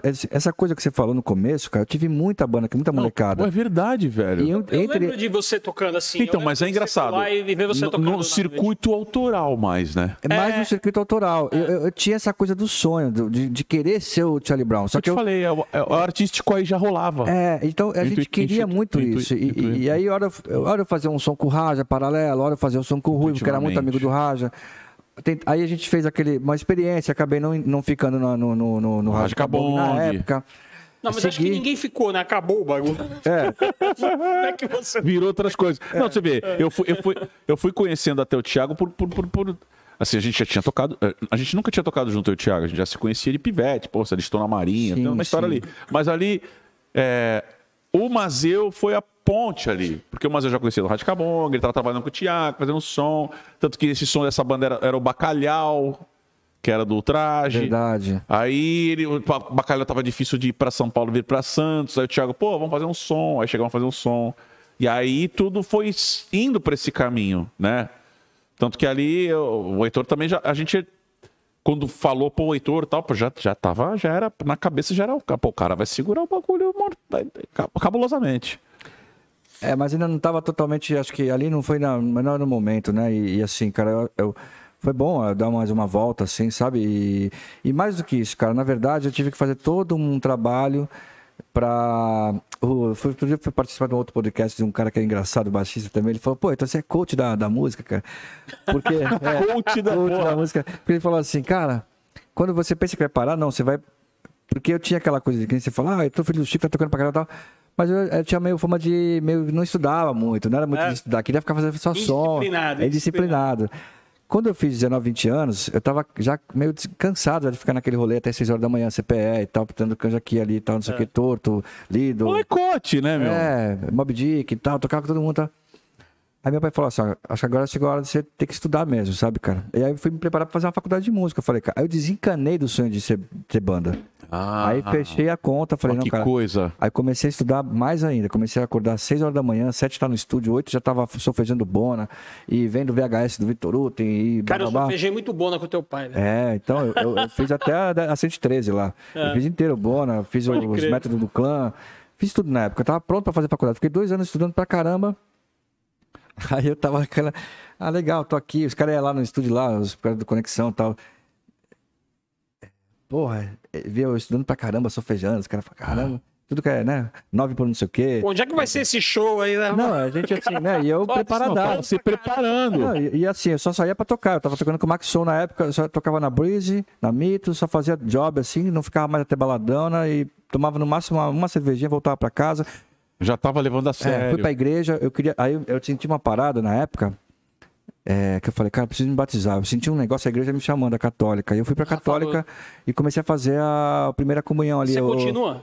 Continuo, todo, todo domingo eu vou. Agora eu tô indo, eu tô indo agora na, do lado de casa na Santa Divisa, que é onde foi até inclusive a missa de sétimo dia da parte da Graziela do Chorão, né? Falou. Então eu vou nessa, na Santa Divisa todo domingo, que é a missa de sete e No canal meia. 3 ali, Canal né? 3, Ali é legal. Capela Aquela Santa igrejinha é muito, muito... É gostosinha ali no meio do... É, Capela Santa Divisa. É demais. É gostosinha e tal. E, meu, e faz a. Pô, eu vou ali, faço meus, peço meus perdões ali pela- pelos meus pecados e agradeço, e peço proteção e vamos que vamos. E aí, cara, eu comecei a fazer tudo isso. Assim, eu, eu, come- eu já comecei, eu comecei a ler PNL, né, Programação Neurolinguística, e que muito me ajudou também a, a me modelar, porque eu, eu era muito marrento na época, era muito doido, assim, É, doidinho. você era mais marrentinho. Era mais marrento. e bebia, e fumava e tal. até, pô, aquela, aquela, desculpa, aquela porra toda de molecão. E, meu, mas eu, eu era, eu era meio folgado. Então, mas o campeão me adorava. É, Ele ia nas baladas e ele, pô, ah, tá, tá tocando bar, não sei o quê. E sempre falava comigo. Mas é aquela coisa da, da, da boemia e tal, da balada, molecão, 19 anos. encontros, é. Bebida, subia no palco com cerveja, com vodka e tal, fumava. Aí, cara, vi que aquilo ali não tava. Não ia me fazer. Aí eu tive que. Aí parei com tudo, cara. Eu careteei, fui pra igreja. Legal. E os caras me lembravam, eles se lembravam de mim daquela época, que eu era doidão, que eu. Puta, Porra, você tava eu- outro cara já não. Porra, quando eu cheguei no Charlie Brown, cara, eu já era, tipo, tava catequizado ali, tava diferente. e, tipo, meu, e os caras, pô, tinha aquela fama do Heitor que, que era louco pra caralho, né? tal, mas, mas foi bom, cara, porque se, se eu tivesse tido essa. essa Pô, eu acho que foi a fase mais careta, né? Porque vocês dois juntos, Cara, e foi ótimo, Porra, porque. é- era- Foi ótimo. dois careta na, Mano, no corre, se eu cara, tivesse como no eu, rolê. se eu, se eu estivesse ainda como eu- bom primeiro que eu não ia nem conseguir não ia nem ser chamado pra fazer teste de Charlie Brown É, porque realmente de doidos abastava o chorão e todo o time que já era ali sim. Então, cara, ou você era realmente muito profissional ou você Sim. não ficaria. Eu, se- então eu sei que assim, foi ótimo você ter uma a, a- minha personalidade, é. Minha personalidade modelada, é, falar menos, é, prestar mais atenção, tá estudado e tá principalmente espiritualizado, porque cara, a onda não foi fácil É superar. embaçado, cara. Era embaçado. Não foi É porque, fácil. assim, a gente compara. responsabilidade e uma cobrança enorme também. Se não tivesse concentrado. Cara, é que a gente, aí que tá, a gente, vai, a gente vai entendendo em certos momentos ali na- no rolê, na banda de rock que você falou, uma, uma das maiores, assim. Eu acho que ela é uma, uma das maiores do, do Brasil. Não, é a maior, a maior, a maior. Eu fiz a conta. Os entendimentos. Eu fiz a conta. prospectos, os entendimentos de, de- do artista, como se posicionar, como falar. E ali a gente tinha, né? A, a- a vitrine ali, né? O Chorão era o cara que, pô, era o cara que o microfone chegava não dava vexame, né, cara? O cara falava mesmo, pá, sabia se, se, se posicionar, se expressar muito bem. Então era um cara que a gente prestava atenção ali, quem tivesse pra prestar atenção. Então a gente tava ali naquele momento, acredito que pra você pode falar também mais, mas era. Imagina ele ficar sacando qual que é, né, cara? Então o que você falou, menos é mais. É. É, é, é, a gente tinha, eu digo que a gente ali, como o Charlie Brown é, tipo, é, talvez todos os times de futebol, tá ligado? Charlie Brown eram todos os times ali, tipo, então tem a galera do amendoim, tem um fanático, tem um cara ali que. que não, não, esse pá, cobra o posicionamento. Tem, então, até a- hoje tem, né, cara? é, então a molecada eh, ali. E, e- e- e- outro dia tem um fã brodaço, o Thiago Os Puletas, que você conhece também. Ele falou, pô, ali o momento que a gente entra. Ele, ele fala ali pouco. Ele é fãzaço mesmo, pá, pá, fervoroso. Ele fala ali que a gente entra no momento mais é, é, particular da banda. Ele falou, pô, é um momento que ele falou, ou vai ser tudo, ou vai ser nada. Podia ter gravado o pior Era um, disco. momento, era um momento realmente. Não é? Podia, podia ter gravado o pior disco, cara. Falou, o barco tá afundado, mano. Porque ali, pô, tem a, a- assim, a expectativa. Quem são esses caras aí, velho? Pô, Pelado, Champignon, Marcão, os caras monstros, velho. É. O Thiago já tinha toda a credibilidade, porque já tinha construído os discos, a carreira. sim, Mas eu e você ali, falou, meu irmão, quem são esses caras aí? Então a gente tocava em festival, os caras ficavam ali atrás do palco ali. Ficava o Falcão do Rapa, ficava os caras da Cidade Negra, ficava só liberado ali. Fala, pô, vamos ver os caras tocando. Não tirando uma, mas vamos ver o que vai... Curiosidade mesmo. É, vamos ver o que vai vir. E de certa forma, o Chorão mudou um pouco também, porque assim, ele começou a dar mais valor, dar mais atenção aos fãs, começou a fazer trabalho com o fã-clube. Ele também não tinha tanto esse liga- essa, essa ligação com o fã-clube. Sim. Era muito, tudo era muito, tava muito, é, é, foi- aconteceu de, de tudo quanto é forma. Ali foi uma reeducação pro Chorão também. Sim. E, e, cara, até uma questão de postura, porque o Chorão também era muito marrento. Assim como o Champion era marrento. E, e os mais tranquilos eram o Marcão e o Pelado, né? Os caras mais, lou- mais de boa, assim tal. Mas o Champion e o Chorão era. uma- Pô, os caras eram marra pra caramba. Então, queira ou não queira, você tem pessoas que te amam, mas tem pessoas que também que não, não são muito assim a favor dessa, dessa marra, entendeu? Sim, é verdade. Principalmente a galera dos anos 80, às vezes, anos, pô, a galera que é, tipo, né? Mas os caras eram tão bons e tão diferentes naquele momento que o pessoal adorava, amava mesmo. Mas eu vi essa mudança de postura do Chorão e isso também virando um pouco a chave e é o que o Pinguim falou. Bandas prestando atenção, falando, pô, Charlie Brown parece que tá até melhor e tal. E é Mas engra- ele não era bobo, ele não ia nunca botar. Botou vocês pra tocar é porque, porra, ele, sabia, ele viu É, cara, a parada, entendeu? é, ele, não ia, ele não ia deixar o negócio assim, eu não- não ser melhor do que era, entendeu? Ele foi, eu não acredito que ele foi assim, bateu o olho e pronto. Ele foi ele construindo junto com a É. gente. Ele foi vendo, ele falou, meu irmão, negócio vai longe, pô, os caras são monstros, pô, Heitor, Ó, pô, Heitor até, estão até falando aqui, ó, aqui, o Vinícius Bragança está falando. Boa noite, rapaziada. Gostaria de agradecer o Heitor por toda a genialidade musical que ele nos proporcionou na época do Charlie Brown Jr. Lembro quando escutei o Futuro é um Labirinto, eu fiquei alucinado com o riff. Que é isso daí, o Chorão sacou e falou, porra, Tinha acessibilidade Pois é. musical. cara tocava Pô, Cara, a gente, a gente foi muito feliz nesse disco, porque tiveram, é, houveram composições maravilhosas. Um disco de 23 músicas, né? Poderia ter chapado as ideias. É, mas, cara, na minha parte baixística, ali, eu fiz uma, uma Futura um Labirinto que me trouxe, que foi de cara o primeiro clipe que abria a, a Tamanho na Atividade, que a gente assumiu a turnê. É. E aí, na pista, né? No Skate Vibration. É, depois teve a musicalidade da Lutar pelo Camel, que era uma música também, pô, muito assim. é, ela é muito é, com aquela característica jamaicana, assim, mas ao mesmo tempo moderna, né? Com rock, né? É. E, mas tinha um groove ali e a gente bebia daquela, daquela fonte do Asian Dub Foundation É e de verdade. outras coisas de de Jamaica que a gente gostava, né? E, e aí depois, cara, veio as musicalidades de Ela Vai Voltar e Senhor do Tempo, que eram duas coisas assim, é, dois diamantes é, que, que o Chorão lapidou, que já tinha aquele cunho, já era uma coisa mais, mais é, pu- puxada por um... Parecia um tom de viola, mas era uma guitarra já mais limpa, que era Ela Vai Voltar e A Senhor do Tempo.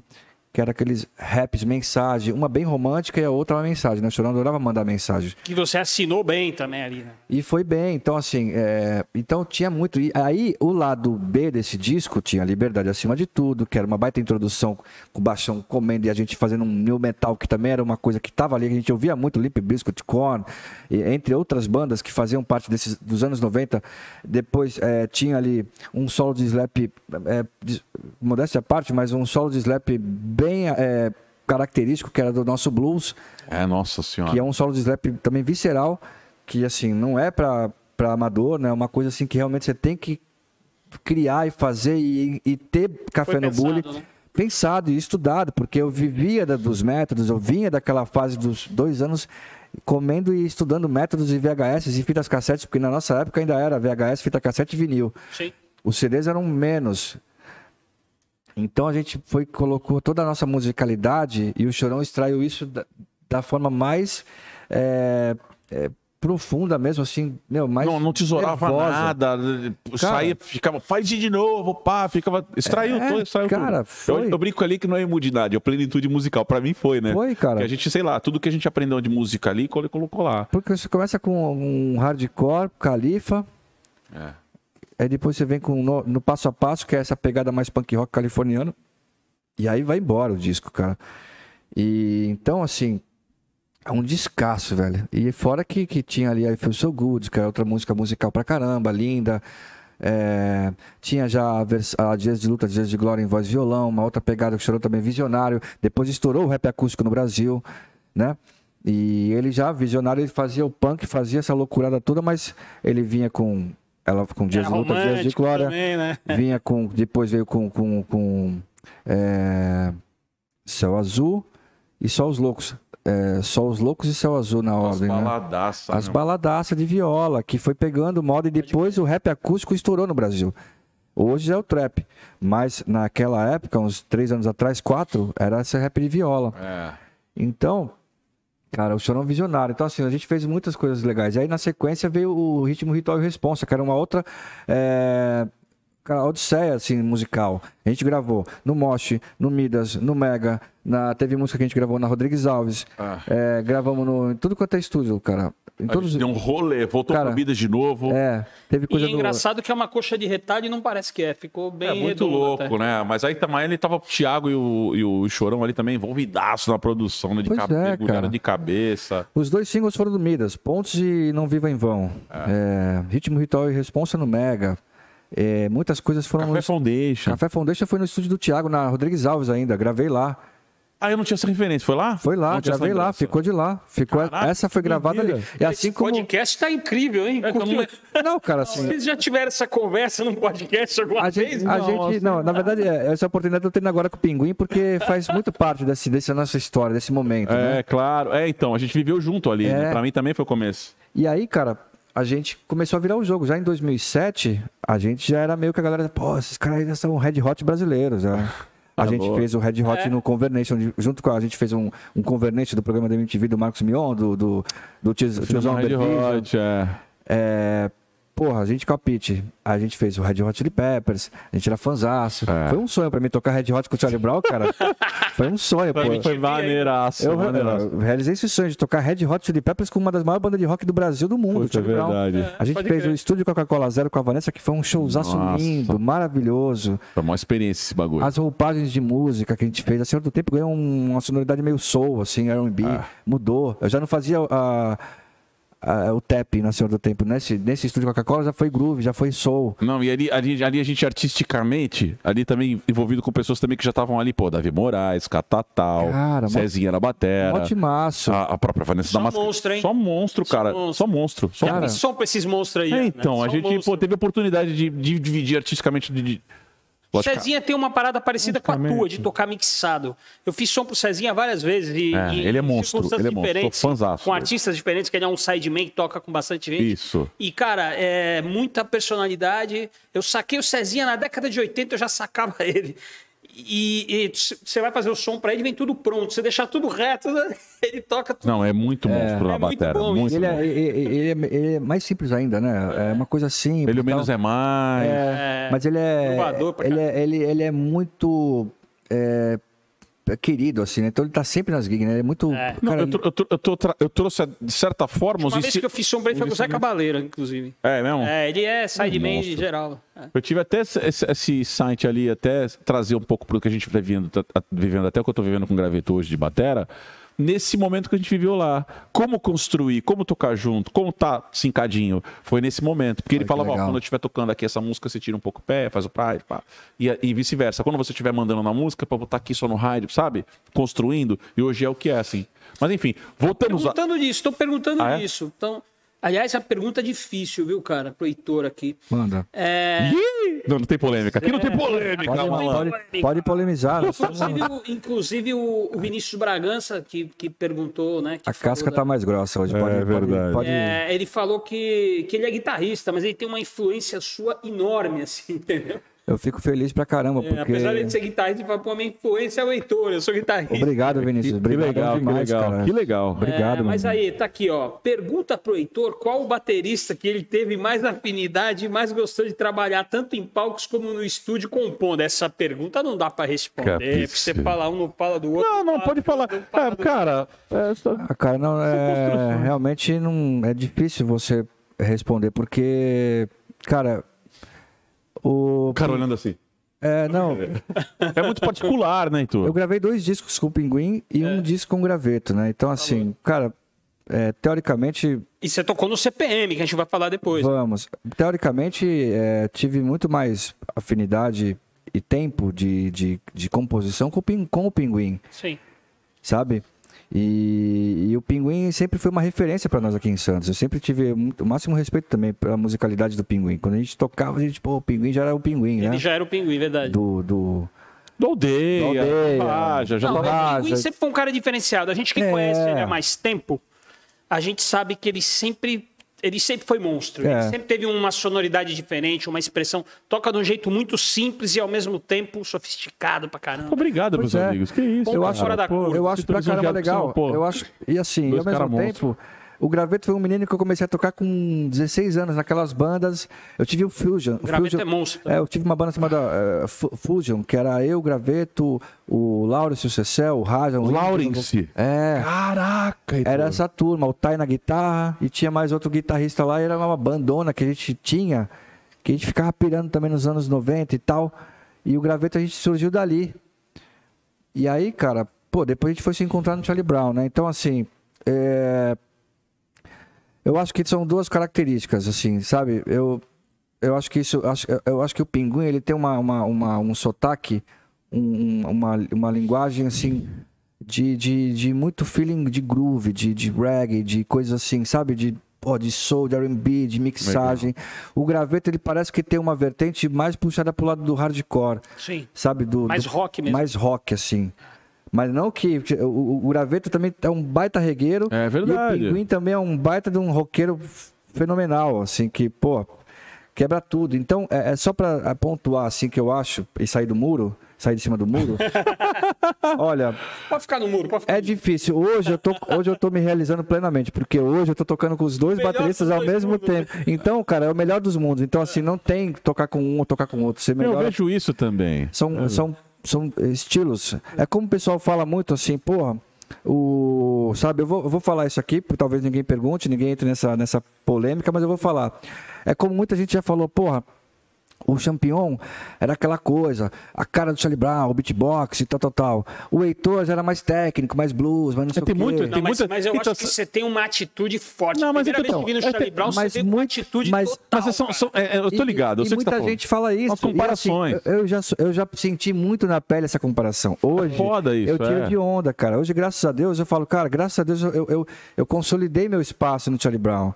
E hoje eu trabalho para honrar isso. E, olha, e, e não pense que é fácil subir no palco do Charlie Brown e tocar, porque não é fácil. De- nunca vai ser. Nunca vai ser. É igual seleção brasileira. Eu falo com o Charlie Brown, é, igual verdade. seleção brasileira. Se empatar, já é mais ou menos. É. Se ganhar de 1 a 0 já, já ah, legal tal. Então a gente tem que A sempre. Não, entendo o que você tá goleada, falando. né? É, é- ver então, goleada. é porque assim, a gente fica. Chega, chega um momento, até eu mesmo com graveta, a galera fala, pô, mas os caras não se falam, tá ligado? Os bagulho assim. Do mesmo jeito que você falou, pô, ah, pô, o Heitor era o cara aqui, era, o cara era noite e o outro era o dia. Não, mano, o cara, pô, tro- a- que- quem não é de Santos Não tem essa, sabe, tem essa né? viagem. Não, Tem pô, essa tropava direto. Chegava e aí, pagava mó pau. Sim, adorava. Só que quando a gente entrou, tava, tava uma animosidade na situação. É, tava- Eles tava estavam eles, estavam estressados. É. Então, qualquer. é, é, tanto o Chorão não, não queria que. Uma vez eu dei uma entrevista na- numa revista aqui de Santos, falei que o, o campeão era o Robinho do contrabaixo. O Chorão, pô, tu vai falar que o cara era o Robinho do baixo? né? Não pode admirar o cara. Não tô brincando. pode, Ele é. E aí. Saber ele que eu não quase- E na, época, e na época o campeão falava que eu imitava ele de, de birra, entendeu? De, de birra. É, birra, tipo de assim, é, é, terminou com a namorada e eu, eu acabei namorando. Aí, e eu falava isso pro chorão. E o chorão ficava puto, que o chorão é macho, macho pra caralho. Macho H, H ponto, ponto aço, né? Aí, É. quer dizer que eu sou a namorada então, essa porra? Então, tipo assim, uma vez eu falando com ele brincando, eu falei, é, o Champion largou a namorada e, pô, o pessoal tem- fica com ciúmes. Aí, que, aí o Chorão, quer dizer que eu sou a namorada do rolê e tal, porra, não sei o que. Mó barato. Então, essa engraçado. resenha, mas é, você vê, então, hoje eu tiro de boa, eu falo, cara, é, Então, mas. é, é, bom, conclua. eu foquei nisso, cara. Cara, eu foquei cara. em tocar contrabaixo. E isso foi o que me fez ser o Heitor respeitado ad- e querido. E eu falar pouco e, e- e fazer. E aí eu fui construindo a minha história, sabe? É foda. E, e ao longo. E, aí, e essa marca foi se É, você caracterizando. tem o teu rolê próprio, na verdade. Você se tornou a sua marca. E, e hoje, cara, eu me dedico para honrar ao máximo essa história do Charlie Brown. Então, assim, é, eu falo, eu falei isso no, no Pod no Ar, do Flip, esses, esses, esses dias agora. Eu falei, cara, hoje eu faço até um pouco de beatbox, mas não é minha especialidade. Eu faço para honrar porque eu gosto, porque eu era moleque, eu adorava fazer, ficar o cara tá imitando. fazendo, eu é. adorava imitar aquela paz do disco É, 1, é. sabe? Eu adorava o que é da casa é da casa. Então, assim, cara, é, hoje eu faço como uma realização. Eu me sinto tão. tão é, foram mais de 15 anos para mexer nessa, nessa história. É, você fala muito bem isso aí. É. É, cara, porque foram mais de 15 anos. Eu, eu, eu- 2005 a 2011, eu fiquei no Charlie Brown. Depois de 2011 a 2016, eu fiquei no CPM. Então, estão perguntando disso aqui. Então, Só- ali- é. Só um segundo. Não, não, que você fala assim, a galera precisa entender de uma vez por todas que cada um tem o seu espaço. Então, se você faz o beatbox naquele momento ou naquela música, a gente tá num momento de celebração, cara. Pra caramba. Então, tipo, pô. Vo- Você, Pinguim, é especialista em beatbox. Não, eu não eu faço, sou eu especialista. sempre fiz, Eu- cara. Eu, Tipo- eu sou, eu sou brincando Pô, não é aqui, tipo, eu sou gente- meio cara de pau, meu forgado aqui. Eu, eu vocalizo Mas é, então, mas é, mas é, falou, pô, Brincadeira, mas ele claro. chega numa não, é a gente tá ensaiando, a gente tá tendo esse momento, a gente chega no ensaio e falou, pô, deixa eu pá, todo mundo entendeu Sim. isso, todo mundo entendeu. Falou, não, pô, a gente já fala ali, pô, não, deixa eu pá aqui, eu, pô, deixa aqui, pô. E faz legal pra caralho, tá ligado? Então, tipo, sem entender que é um momento de celebração, tipo, não, pô, Pinguim não vai fazer uma beatball, porque vai fazer, porque eu sou, eu quero. Não é isso, tá ligado? Então é. é, é- E como é que estão os ensaios? Pô, é ele foda. já falou, quero saber Não, então, eu, eu- eu hoje eu vivo, eu tiro um pouco essa sardinha de, tipo, até de minha, do, minha do, do- da galera querer mirar, pô, mas pinguim também, o próprio graveto. Mas a gente vive ali nesse momento. Talvez, talvez você vivesse esse momento com o Champs também estivesse aí. Tá tocando junto, sabe o que eu quero dizer? Hoje eu vivo com o graveto ali, não tem pá, não, a gente, uma porra, uma, uma É, a galera acha que tem uma rivalidade, É. uma competição. Que na verdade, quem não é de Santos não sabe que todos nós nos encontramos na padaria eventualmente, porque Santos é muito pequeno. É, né? cara. Mas, mas não, vamos- não vamos ser. Não, não vamos. é, existe sim muita. é, existe. Vamos, Não vamos ser hipócrita, não. É, a verdade é que é, é, na música é, é, tem muito esse lance dos ciúmes. é, Da vaidade. Da, da vaidade, da panelinha. Isso. Então você vê isso muito. É, é é porque parece que é um. É um é- é- são difíceis você. É, difícil você consolidar. Conquistar. as- conquistar um espaço. E quando você conquista, às vezes você não tem a, a, a, a consciência, a maturidade para saber compartilhar isso de uma forma positiva. E eu, por exemplo, não estava preparado naquele momento em 2011, quando o Chorão... Eu fiquei três meses para me desligar do Charlie Brown, né? Não foi assim, tipo... Então você foi ligeiro. Você Foi três pro meses. Heitor. O Chorão, falo o Chorão me tirou da banda, me botou de volta e me tirou. Nesses três meses. A gente falou, pô, Heitor. Você sabendo. Eu devia- Porra, falar. eu Quando escutei... eu saio da banda, eu devia falar, pô, eu devia ter trocado uma ideia contigo. Não, cara... é, foi- Que foi difícil, você fala, né? Mano, foi muito difícil. Eu, eu, cara, o tiozão brigou comigo no aeroporto Salgado Filho, em Porto Alegre, porque eu, não, eu tava ali. Aí eu falei que, pô, que hipocrisia essa banda, não sei o quê. Na época, molecão, falei que, pô, que hipocrisia, os caras não sei o que, agora quer voltar todo mundo. Aí, tá me chamando de puta, então, não sei o que, bababá. aí foi, entrou no aeroporto, no, no voo, falando um monte. E aí desceu na Congonhas falando um monte. Aí, pô, brigou comigo, não sei o quê. Aí tá bom, tranquilo.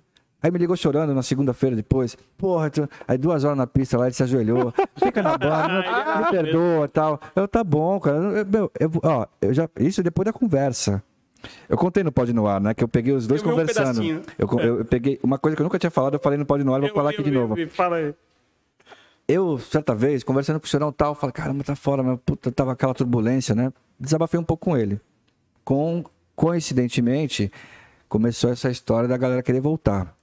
Aí eu lembro que o Marcão, ele recebeu uma carta enorme do Marcão, falando, já começando a, porra, falando sobre esse sentimento, da parceria musical e tudo mais. Aí já que tinha aquelas histórias, pô, o campeão tá meio na roubada, sem grana, não sei o quê. Tinha essas histórias. Rodava aqui em Santos. Tinha Pô, essa lenda, tinha. tinha, não, não, era real. Era real. Depois de 5, 6 anos já de banda, os caras.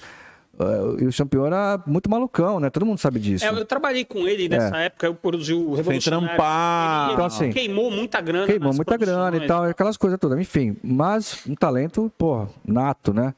E assim, cara, aí eu, eu queria paz só, né, cara? Eu tava querendo só paz, eu não aguentava mais turbulência. e, cara, a gente já tinha gravado Camisa 10 tal, tinha acabado de lançar o Camisa 10, tava bonito pra caramba. Grammy.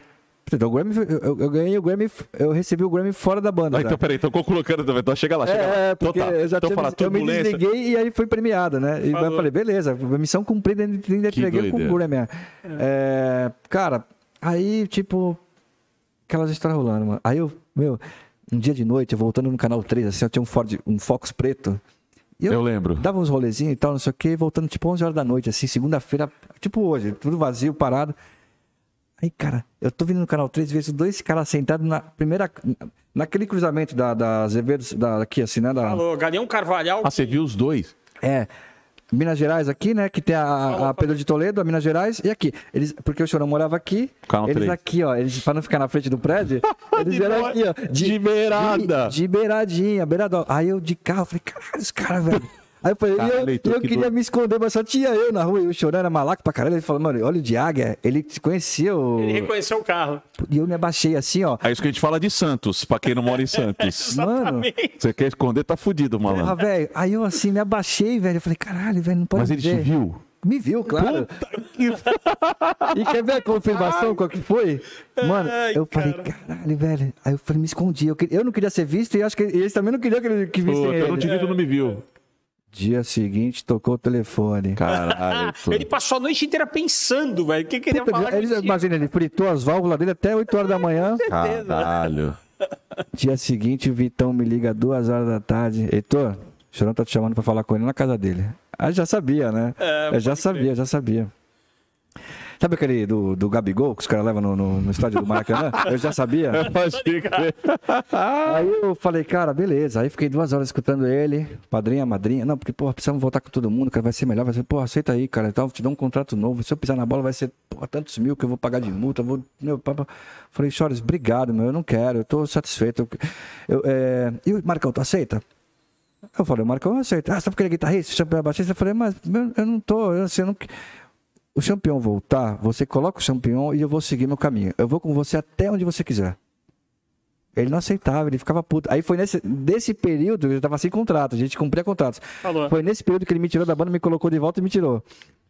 E eu, honrando tudo, eu falei, não, mano, ó, vai, vai fazendo. Assim, nós não vamos brigar. Eu falei pra ele, nós não vamos brigar, nós vamos estar lado a lado. Ele tinha a que eu fosse meio... Eu falei, nós não vamos brigar. Só que foi difícil atirar, aturar o tiozão, hein? Foi E foi, várias- e foi difícil não brigar, hein? E foi difícil não brigar, hein? Então, cara. Nossa, velho. Eu fiquei três meses. Por mim. Você saiu antes dele. Saí antes, É, você é. saiu antes, eu me lembro. Você não conseguiu não brigar. Puta, é foda. Eu não, eu não, Não, o foda. Chorão- Cara, mas se fosse eu, eu acho que eu teria, eu teria dado um. Eu não sei, porque o Chorão era bom de briga, mas acho que eu teria dado umas porradas. Ai, O cara. tiozão, ele tinha uma cada. Uma vez ele me levou pra. Uma vez a gente foi na churrascaria nesse tempo, É. lá no, no Tertúlia. Aí eu fui e tal. Aí comemos, bebemos, conversamos. Nessa resenha, de várias resenhas. Foram várias crer, resenhas, no Brasil inteiro. Pode em crer. Santos, em Porto Alegre, em São Paulo. Várias resenhas com o tiozão. Na pista, várias. Pra, vai, não vai, vai, fica, não. Pô. Aí uma vez ele foi malaco, velho. Aí ele fingiu que tava dormindo, ó. Aí ele foi barato, ele, e depois ele me contou que ele fingiu que ele tava dormindo. Ele bebeu, comeu, não sei o quê, aí veio de carro comigo, eu fui deixar ele. Aí não acordava. Aí E ele tirando uma E o onda. malandro tirando uma onda, fingindo que tava dormindo no carro. ele fingindo que tava dormindo. Essa história eu nunca contei também pra ninguém. Vou contar aqui no grupo Ai, Manhã, caralho. primeira vez. É, primeira vez aqui, cara. Pô, o Chorão me, me falou, me chamou, vamos na churrascaria no Tertúlia, comemos, trocamos ideia, bebemos e tal, falamos, pô, de, de banda. Aí tô deixando o tiozão em casa. Aí ele fingiu que tava dormindo no banco.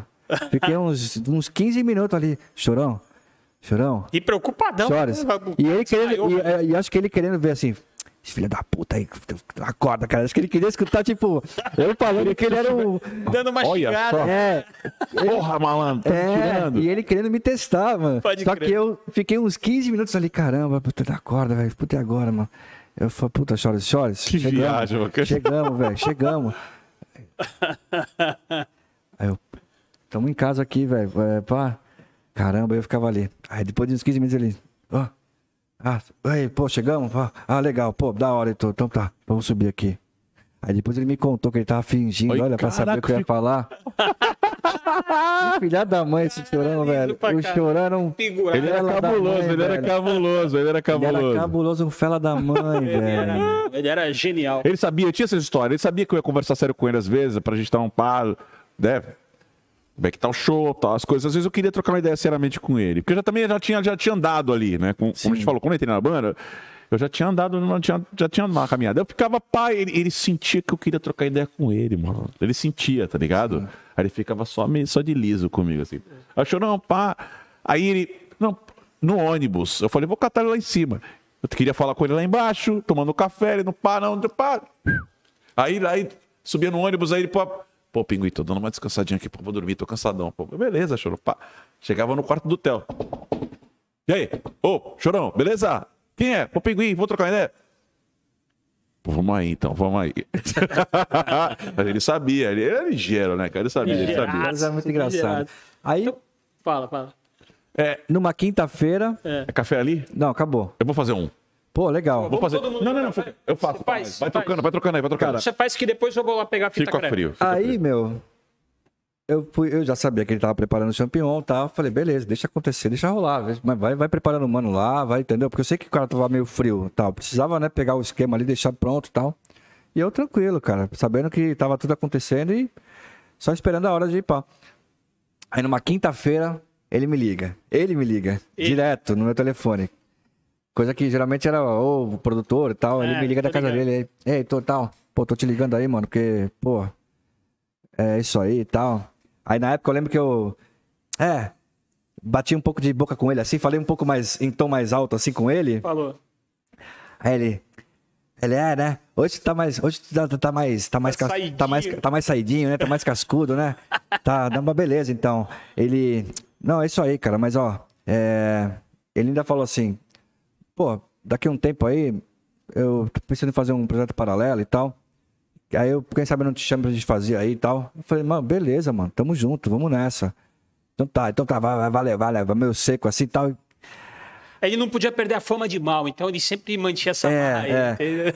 Ah, eu sei que, cara, eu saí no canal 3, assim, eu já morava aqui na, na Alexandre Herculano ali. Nossa, eu tirei um container das minhas costas, assim. Ai, fui andando até a praia ali, cara. Até o canal 3. Porque o melhor é sair pela porta da frente também. É, cara, nossa, eu tirei um peso assim nas minhas costas, cara. Eu fiquei, nossa, graças a Deus, e entreguei. aí, o que, que você pensou? Você pensou, o que, que eu vou fazer agora? Pois é, eu falei, cara, tipo, meu, eu tinha feito meu home studio, eu falei, cara, vou trabalhar com produção musical, né? Vou estudar e tal, fazer essas coisas, né? Aí eu tinha uns brother que era ligado no- nas paradas do- de Logic, né, da DAW, da Apple e tal, e interface, aquelas coisas todas já naquela época ali, 2010, tava tudo chegando, né? Tava tudo Os chegando. MacBook e tal. É. Eu já tinha comprado um MacBook. Pro Tools, não eu, é, eu já, tinha uma placa da Pudi e tal, aquelas coisas todas. Aí passou um final de semana e tal. Beleza, mano. Aí passou segunda e tal. Aí uma semana seguinte, igual uma semana depois. Exatamente uma semana. Exatamente uma semana depois, quinta-feira, toca o telefone. Aí eu olho, 011, eu já senti. Eu falei, cacete, 011, velho. É coisa boa, velho. Eu já senti 011, eu falei, é coisa boa, velho. 011, ou é treta ou é trampo. É. Alô, oi, e aí? Fala, Heitor, beleza? Pô, aqui é o Luciano, guitarrista do CPM. Ô, Luciano, pô, beleza, meu irmão? E aí? Pô, velho, fiquei sabendo que tá sabe- eh, saiu do Charlie Brown, mano. Pois é, meu. Ele, nosso baixista saiu também, mano. Você não quer tocar com a gente, não, mano? Estão perguntando aqui, ó. Após a sua saída do Charlie Brown, a Yasmin tá perguntando. Você logo entrou pro CPM. Como foi a sua relação com os músicos do CPM e com os fãs? Você sentiu uma dificuldade de entrosamento nesse cenário? É, as músicas, parada de tirar as músicas. Como é que foi? Foi uma mudança de ambiente muito radical para você? Musicalmente? Geral, tá perguntando, a Yasmin tá perguntando aqui. Cara, foi uma delícia, porque quando eu recebi aquilo, eu fiquei louco. Eu falei, caralho, minha chance de dar assim, a volta por cima e entrar numa outra banda foda. Foda, assim. Eu fiquei louco, velho. Você Aí- sabe que eu senti isso de longe? Eu fiquei feliz por você. Cara, falei, muita gente ficou feliz, cara. É verdade. O cara saiu e Meu, pá. muita gente ficou feliz. A equipe do Charlie Brown, o Pinha me ligava, o He-Man, o tiozão, o Kleber, todo mundo Heitor, cacete, velho, que da hora, mano. Os caras, meu, ficou todo mundo felizão. E, meu, assim, é... eu fiquei doido. Aí o Luciano, toca de paleta? Toco. Tem Fender? Tenho. Tem Ampeg? Tenho. Obrigado, Tem- obrigado, velho. Obrigado pelo café, Pingo. Ê, Saúde aí. Cafezaço Porra, lindo, brindando. maravilhoso. Obrigado. É. Hum. E aí, tu ficou Aí- felizão. É sem açúcar mesmo? É sem açúcar É, mesmo. também. Aí o Luciano, então tá, mano, ó, amanhã você passa ali no. Sabe, sabe o, o Dick? Eu falei assim, "Ei, o nosso empresário é o. É, é- é dono, passa lá, pega os três CDs lá. Segunda-feira tem ensaio. Eu falei, demorou. Era o Alê, né, já? É, Peguei lá os três CDzinhos na sexta-feira, voltei pra casa, mas comi os três discos sexta, sábado e domingo. Segunda-feira eu tava indo pra São Paulo fazer o teste com os caras. Tem uma história muito louca, não sei se vocês já souberam. Já, eu já, fa- é, cara, Eu acho que não, eu eu quase não cheguei no Ah, ensaio. eu sei dessa história aí. Eu acho que eu já vi você falar isso aí. Mano, eu tava assim, né? Drenado. Essa história é muito boa. Aí, cara, pô, saí no horário, eu saí tipo era, sei lá, 4 horas da tarde, o ensaio. Aí eu tô indo pra São Paulo, né? Sou mó perdidão, andando de, de- na rua, né? Em São Paulo. Você sabe que o campeão, ele falava, sempre que eu tava com ele em São Paulo, falava, pô, velho, essa cidade não tem lado, tá ligado? Porque Santos tem o lado da praia, que gente não sabe qual é o lado. São Paulo é um inferno, né, cara? É um Tem monte lado, de né? viaduto e não sei o quê, cara. Eu sei que ali na, na- onde a gente ensaiava na Lapa, aí eu caí, cara, errado. Puta. Passei a ponte, caí na Marquês de São Vicente ali, velho. Puta, velho. Barra entrei- funda. É, quando eu caí na Marquês, tudo parado, velho. Um trânsito caótico, assim, na Marquês, tudo parado. Isso era umas três e pouco da tarde, tinha que estar às quatro. Aí comecei a fritar suar, velho, no carro. Três e meia. Não andava, velho, não andava. Não andava, cara. Eu falei, nossa, velho, ferrou, velho, vou perder a oportunidade. Se eu não chegar no horário, eu perdi a boa. Já era. Os caras não chegou no horário do primeiro ensaio, velho, tchau. Já era. Fiz uma das maiores loucuras da minha vida, cara. Peguei o Focus que eu tinha, o 2.0. Tinha uma guia enorme, assim, ó, no meio da, da Marquês. Pra cá tava parado. Voltando para pro viaduto, pra você cair pra lá, pro lado da Lapa de novo, tava liberado. E na frente aqui tem um, duas vezes. tem um batalhão da polícia, logo ali na frente. Eu Cara, não meteu o sabia. loucão mesmo? Meti o louco, virei o japonês voador. Entrei. pra quem assistia, quem é mais velho, né? O japonês voador na Fórmula 1 era sempre o que batia na. Pode crer. Na Fórmula lado. 1. Eu não sabia dar apelido. Cara, atravessei aquela. Destruiu quase o carro. Bom, Quase falou, se a polícia me pegar, beleza, mas eu vou Mano, com eu nem tudo. pensei em polícia. Ah, eu- eu falou. pensei em ficar. Eu falei, me dei bem. Putz. A hora que eu passei, subi a guia, andei por cima da guia, era uma guia enorme. Do lado era um ponto de ônibus, assim, ó. Tinha gente ali. Depois você lembrou, pô, não tô de Jeep, né, meu? Não- Mano, eu, eu, Caralho. eu falei, cara, eu fiz essa loucura. Caraca. Andei menos de um minuto. Quando eu tô chegando na esquina pra pegar o viaduto, para, para, mano, os caras da arrogância de moto, as metralhadoras, tudo na minha cara. Assim, para o carro agora, desce do carro, desce do Nossa, eu- esse, esse, esse é inesperado pra mim isso aí. Eu falei, meu, desculpa, perdão. Já falei, meu, eu tô desesperado, eu preciso ir no endereço aqui às quatro horas. Eu falei, eu sou músico. Aí eu falei, meu, ó, desculpa, meu, eu, eu toco com banda conhecida, tem um teste com os caras do CPM agora. Eu tinha um camisa 10 no, no porta-luva, eu falei, ó, eu, eu, Eu sou esse cara aqui, ó. eu sou esse cara aqui, meu. é- Meu, mas eu falei, eu tô desesperado. Com o cabelinho já grande, amarrado, igual eu tô hoje, assim, amarrado. Aliás, eu tava com os mullets soltos, eu tava com os mullets soltos, com um tênis, um cadastro de cada cor, que o Badawi depois ficou me zoando no ensaio. Caraca. E, meu, Mas aí, aí, aí os caras, pô. os caras olharam, aí o rádio tocando, era rádio, né? Nextel. Pipi, o Luciano, e aí, caralho, quando você tá, meu? Porra, os caras já esperando lá. Já, já, já tinha dado umas quatro horas, assim, na. na- Aí eu falei, meu, eu tô. na- eu Tô tomando a geral. Tô tomando a geral aqui e tal. Mas E os, e os caras vendo desesperados, assim, uns três caras assim com, as, com os trabucão assim Cara, em que cima. doideira. Tem alguma coisa no carro aí? Falei, não, não tem nada não. É mentira, né? Não, não tem nada não. Menti, cara. Hoje eu parei, graças a Deus. Hoje eu parei, hoje eu parei, hoje eu parei. Eu confesso que hoje eu tô careta, graças a Deus. Mas eu tinha. Não, não tenho nada, não tenho nada. Olha esse revistar. Mano, não, só tá meu instrumento e minhas coisas aqui, pelo amor de Deus. Eu, Tô indo pro ensaio. Cara. Tô indo pro Caraca, ensaio, que preciso viagem. fazer um, era o teste, meu, se eu perder essa oportunidade, ferrou. Eles sabiam que você era o Heitor do Charlie Brown? Os policiais? É. Quando eu mostrei o CD, acho que o cara, E daí, tá, cara não tem entendeu. o cara né? pegou o CD, olhou, falou, meu, É o cara mesmo. Caraca, Heitor. Putz, grila. O cara falou assim: o seguinte, ó. Entra aqui à direita, ó, o policial. Entra aqui à direita, ó, sobe. Ó, não vai errar, é a primeira ali, você vira ali e tal. Muito obrigado, muito obrigado. Fechei, o- entrei, o carro tava todo aberto, é, no meio da avenida, assim, na esquina. Tomando mó, mó, mó dura dos caras. Parecia, sei lá. Vamos lá. Você sabe que eu tomei três geral com champião? Eu nunca tomei geral, mas com champião eu tomei três. Deus do Os céu. caras são. É, Carinha, carinha. de polícia, Não, como a gente- o- a gente- Maloqueiro em carro gringo, vamos parar pra averiguar. Exatamente. Eu fui. Você tava comigo quando a gente, a gente foi gravar o primeiro disco? Ou foi o segundo já? Que eu errei o caminho. Você tava comigo? Eu Olha tá vendo? Isso é um se- sinal também. Eu não lembro se a gente tava junto, eu lembro que a gente foi, teve várias idas com Então, o mas acho, Thiago acho que foi o pra primeiro. Zona Norte, trânsito na 23 Então, de a gente maio. ia gravar no Midas, acho que foi o primeiro. A gente tava. Pô, tava também. Errei o caminho. Não, você errou, mas eu não tava com você. Ah, tá. Eu errei o caminho. Cara, eu tinha arrumado uma namorada ali na Joaquim Eugênio de Lima, do lado do Flat Lorena, cara. Eu passei a noite inteira namorando e fui gravar 10 músicas no dia seguinte. Era o primeiro disco. Primeiro disco. Então, A- eu a errei o Tati- caminho. a- não sei se a Tatiana, lembra da Tatiana, advogada? A Tati. Lembro, pô, claro. Cara, não, foi muito, muito louco. Eu tava- errei o caminho. Esse dia você errou o caminho, né? É, eu errei o caminho, tá vendo? A saga. A saga São Paulo é uma saga. Eu sei que, meu, olha, eu ia falar de mulher, deixa pra lá.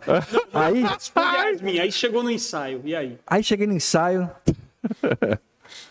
O Badawi. Ah, o cadastro do cara, um de cada cor, velho.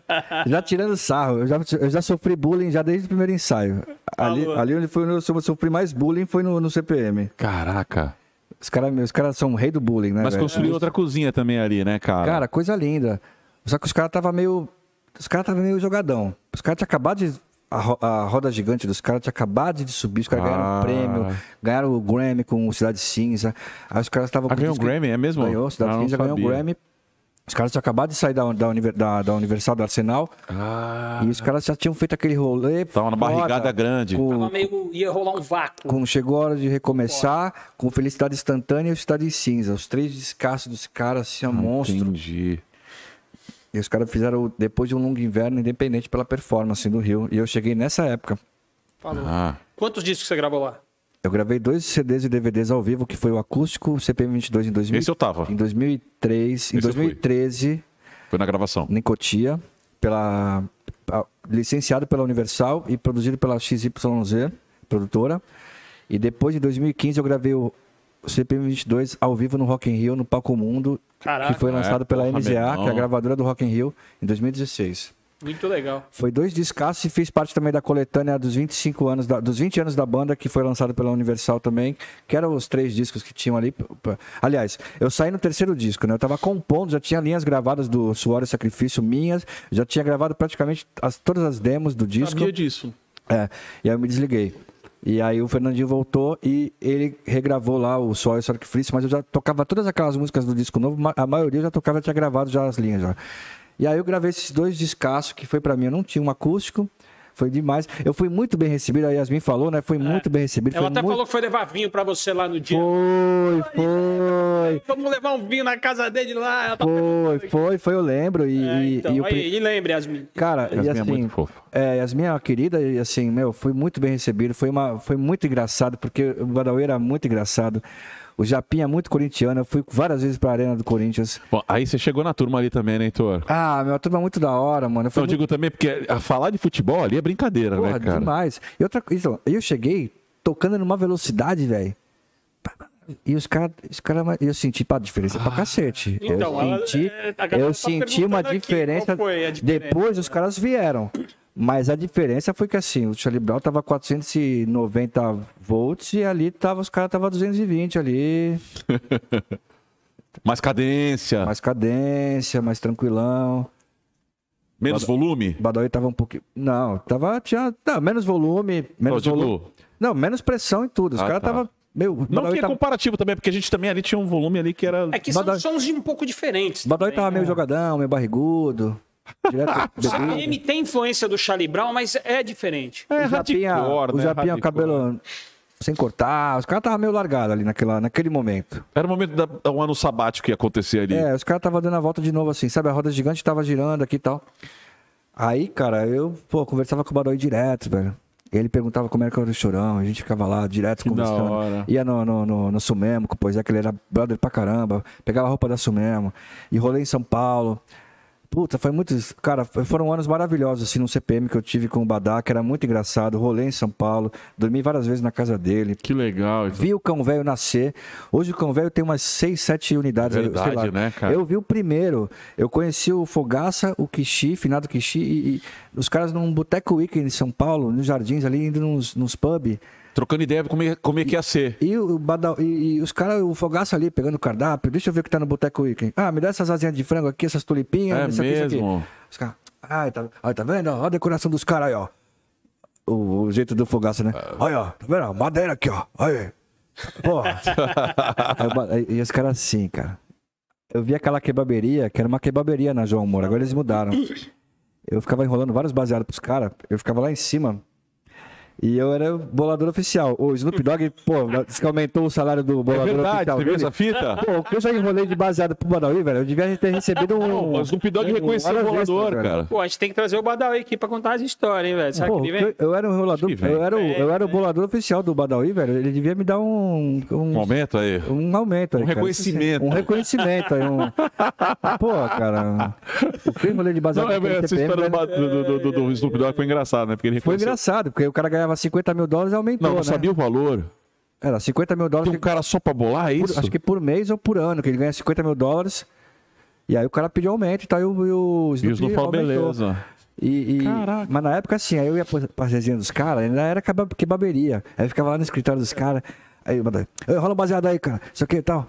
É Aqui. Cara, é que você é muito na sua, mas na realidade eu escutei uma par de história, rolava uma certa. Pô, Heitor, caralho, Heitor, pô, Charlie Brown, não sei o quê. Rolava uma. É que eles não, eles não davam o braço a torcer, mas rolava uma. Uma- um respeito nesse sentido aí, tá Cara, ligado? eu cheguei tocando bem pra caramba, os caras Eu adoravam. acho que não tinha nem chamado se para, tocando Os bem- caras não, rolavam respeito. é. Eu escutei uma par de conversa aí que rolavam, é que eles não falavam pra ele, entendeu? É, os caras adoravam. Eu fui muito bem recebido. Foi, os caras usaram esse marketing também a favor. É. E eu, pô, ficava conversando muito com o Badá, meu, e assim, porra, velho. Aí ele voltou a andar de skate, aí ele começou a fazer o Muay, o Muay Thai, o MMA, ele começou a treinar. Hoje ele tá sagaz. Tá batendo forte o bicho, velho. É mão. Verdade. É, O Badawi tá batendo, viu? Hoje, tá? Construiu mais uma cozinha, né? Como tá falando, Japinha Japinha pá. também da hora. O Japinha foi pegando o ritmo, foi ficando mais sagaz de novo. Mais gruvador, Os né? caras começaram a ficar mais, mais espertos, porque eu trouxe essa energia. Sim. E os caras começaram. E aí eu era um cara que plantava os Aí caras. você tava num nível musical bem mais alto que o deles, que você estudava pra cacete, os caras estavam só É. Não, os rock, caras. né, velho? sabe o que aconteceu? Os caras cortaram meu dedão quando eu entrei no CPM. Os caras cortaram meu dedão. Falaram assim, ó, só que é o seguinte, vamos cortar o teu dedão fora. Falei, tá bom. Nunca mais eu toquei slap na vida ali Vou contar, no. vou contar uma pra você, então, engraçada que eu presenciei num show do Milton Nascimento. O Nico Assunção e o meu tio, o Robertinho Silva, tiveram uma briga, velho. Porque o Nico, na verdade, o Nico, falecido Nico, gente boa, eu me dava muito bem com o Nico. E muita gente tretava com o Nico, né? Eu, eu, eu tive, eu tive perto ali por causa do Robertinho. Desde a infância eu convivi muito com o Nico. E aí depois rolou João Bosco e tal, e eu fiquei amigo do Neco, que era irmão dele, da família toda e tal. E o Nico era um treteiro do cacete. Chegou uma época que ele queria tirar o Robertinho da gig de qualquer jeito. Sendo que foi o Robertinho que botou ele na gig do Milton Ah. Nascimento. E aí ele queria botar o Carlos Bala no lugar do Robertinho, entendeu? E não conseguiu. Eles tiveram uma briga no show no Maracanãzinho. Eu era moleque que tava sempre pendurado ali e eu tava lá na hora. E, cara, ô, não vai ter esse surdo aí que você tá batendo agora nessa parte da música. Isso é horrível, o Nico falando pro Robertinho. O Robertinho falou: eu vou botar o surdo onde eu quiser, inclusive eu vou jogar ele na sua cabeça. Pra jogar o surdo no Nico.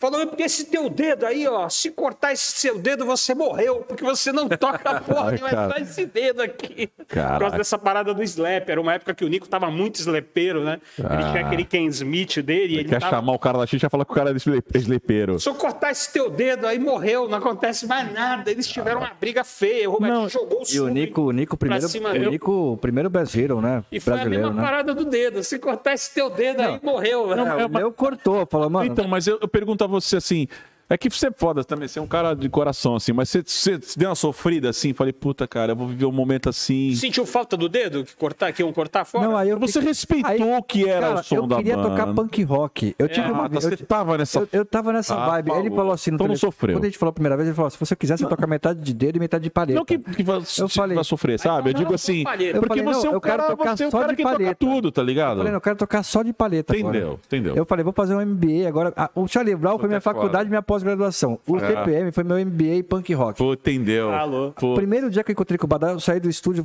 a gente foi pra casa dele, ficamos até tarde. Eu voltei com três discos da casa dele, tem uma parede de discos assim, ó. Que era o Strung Out, o Dropkick Murphys e o God Will Dance. Já foram as três aulas já de cara, já falou assim, ó, leva esse disco aqui, lê esse e esse. Aí eu falei, coisa linda. Só que eu tive uma parada, uma intuição. A minha ex-namorada na época, antes de eu me. Eu tava ali pra me desligar do Charlie Brown. Eu tava numa, numa uma história, assim, em São José dos Campos, ela de lá. Aí, cara, eu tô olhando os discos aqui, assim, eu queria comprar um disco. Aí eu vi o, a, a, a coletânea do, do Face to Face Preta, que era uma das bandas que mais. A banda que mais influenciou o CPM era o Face to Face. Eu falei, caralho. Falei, comprei o disco. Aí eu comecei a eu fiquei dois meses escutando Face to Face no carro sem parar, sem saber que eu ia entrar no CPM. que viagem. hora. Quando eu entrei no CPM, velho, eu já tava com o DNA do CPM na cabeça Eu já. sei o que que é, eu sei o que que é. Né? Que você falou, tá aqui, Mano, eu beleza. já- eu- Tô, em- tô em casa. Tava embaixo do dedo já. Eu escutava o Scott, o baixista do, do Face to Face, dia e noite no carro, Que velho. doideira. Dia e noite, velho. Mas sem saber, né? Sem saber. Quando eu cheguei, eu já tava com o DNA do CPM na. Deus já foi me, me preparando. Coisa de Deus, velho. É, o universo já foi me preparando, sem É. saber. E aí, cara, dali foi. E aí, ali, eu comecei a escutar mais NoFX, mais Bad Religion, Os É. hardcore, né? Mighty Might. Mighty Mighty Boston. É, até porque tinha muito essa, esse lance do ska, né? É. E então, bandas assim. Aquela pô, da minazinha lá, que a gente até ouviu no avião uma vez. É, boa pra caramba. inter- in- in- Que é uma minazinha, um hardcore. Tipo Sim, sim. Might, só que é uma menina que canta. Sim, linda, irado. Não, entre outras bandas que eu tô. Tô me fugindo o nome aqui Eu agora. também essa me fugiu o nome. é, de bandas que, pô, que permeavam, porque assim, o CPM também virou a chave, né? É, cara, um disco de ska. Sabe o que lembrava esse disco do CPM? O London Calling do, do, do, do, do The Clash, sabe? Era um disco que tinha jazz, tinha saxofone, piano. É verdade. Tava o Ganjamin. É, e esse disco foi produzido pelo, pelo Ganja. O, o, o- depois do Longo Inverno foi produzido pelo Ganja Man. Falou. Então tinha Hammond, já, não sei, coisa que o CPM nunca tinha usado. Pode naipe crer. de metal. Pô, eu- comecei tocando. né? Eu comecei tocando no CPM, cara. Os naipes de metal era Tiquinho, Fernandes Bastos e o, e o Pedro. É. E, o, e o Pedro, acho que era. Tá me fugindo o nome do trompetista, mas Fernando Bastos, Requisitadíssimo o trio, é. Sempre vai. É. Tiquinho Chamão sempre vai os três. O Tiquinho Trombone, Fernando Bastos, o cara é J Quest, São Jorge. Como Legusta, os caras todos aí. Sim. Exatamente. O Orquestra de Música Jamaicana é o Fernando Bastos, o É, Tiquinho, os com- caras todos. A verdade é que com. Aí eu já, já, saí de, já saí de cara tocando. E quem que era? O Hammond, o pianista, o Léo Casaum, que hoje é um dos maiores produtores de rap do Brasil. Caraca, O o Léo Casaum. cara não sabia. É o Léozinho. A banda era eu, a, a cozinha, eu, Japinha, Léo Casaum, Tiquinho, Fernando Os caras Bastos. deram uma sofisticada forte, né? e Porra, você velho. chegou pronto pro negócio. Era, era a turnê do Depois do Longo Inverno, quando eu entrei. E eu tocando baixo com paleta pra cacete. Abraçou. Pô, que Os caras me adoravam. Os caras falavam, meu, o melhor baixista, os caras sempre. Ah, o melhor baixista do CPM foi o Heitor. Que Os caras sempre- doideira. Doideira. E eu adorava. Pô, Matt Freeman do, do Rancid, velho. Nossa, eu escutava É, muito. tinham, era, era uma só banda da hora, né, Uma cara? pancada, o Matt Só Freeman da no baixo, velho. Só banda da hora.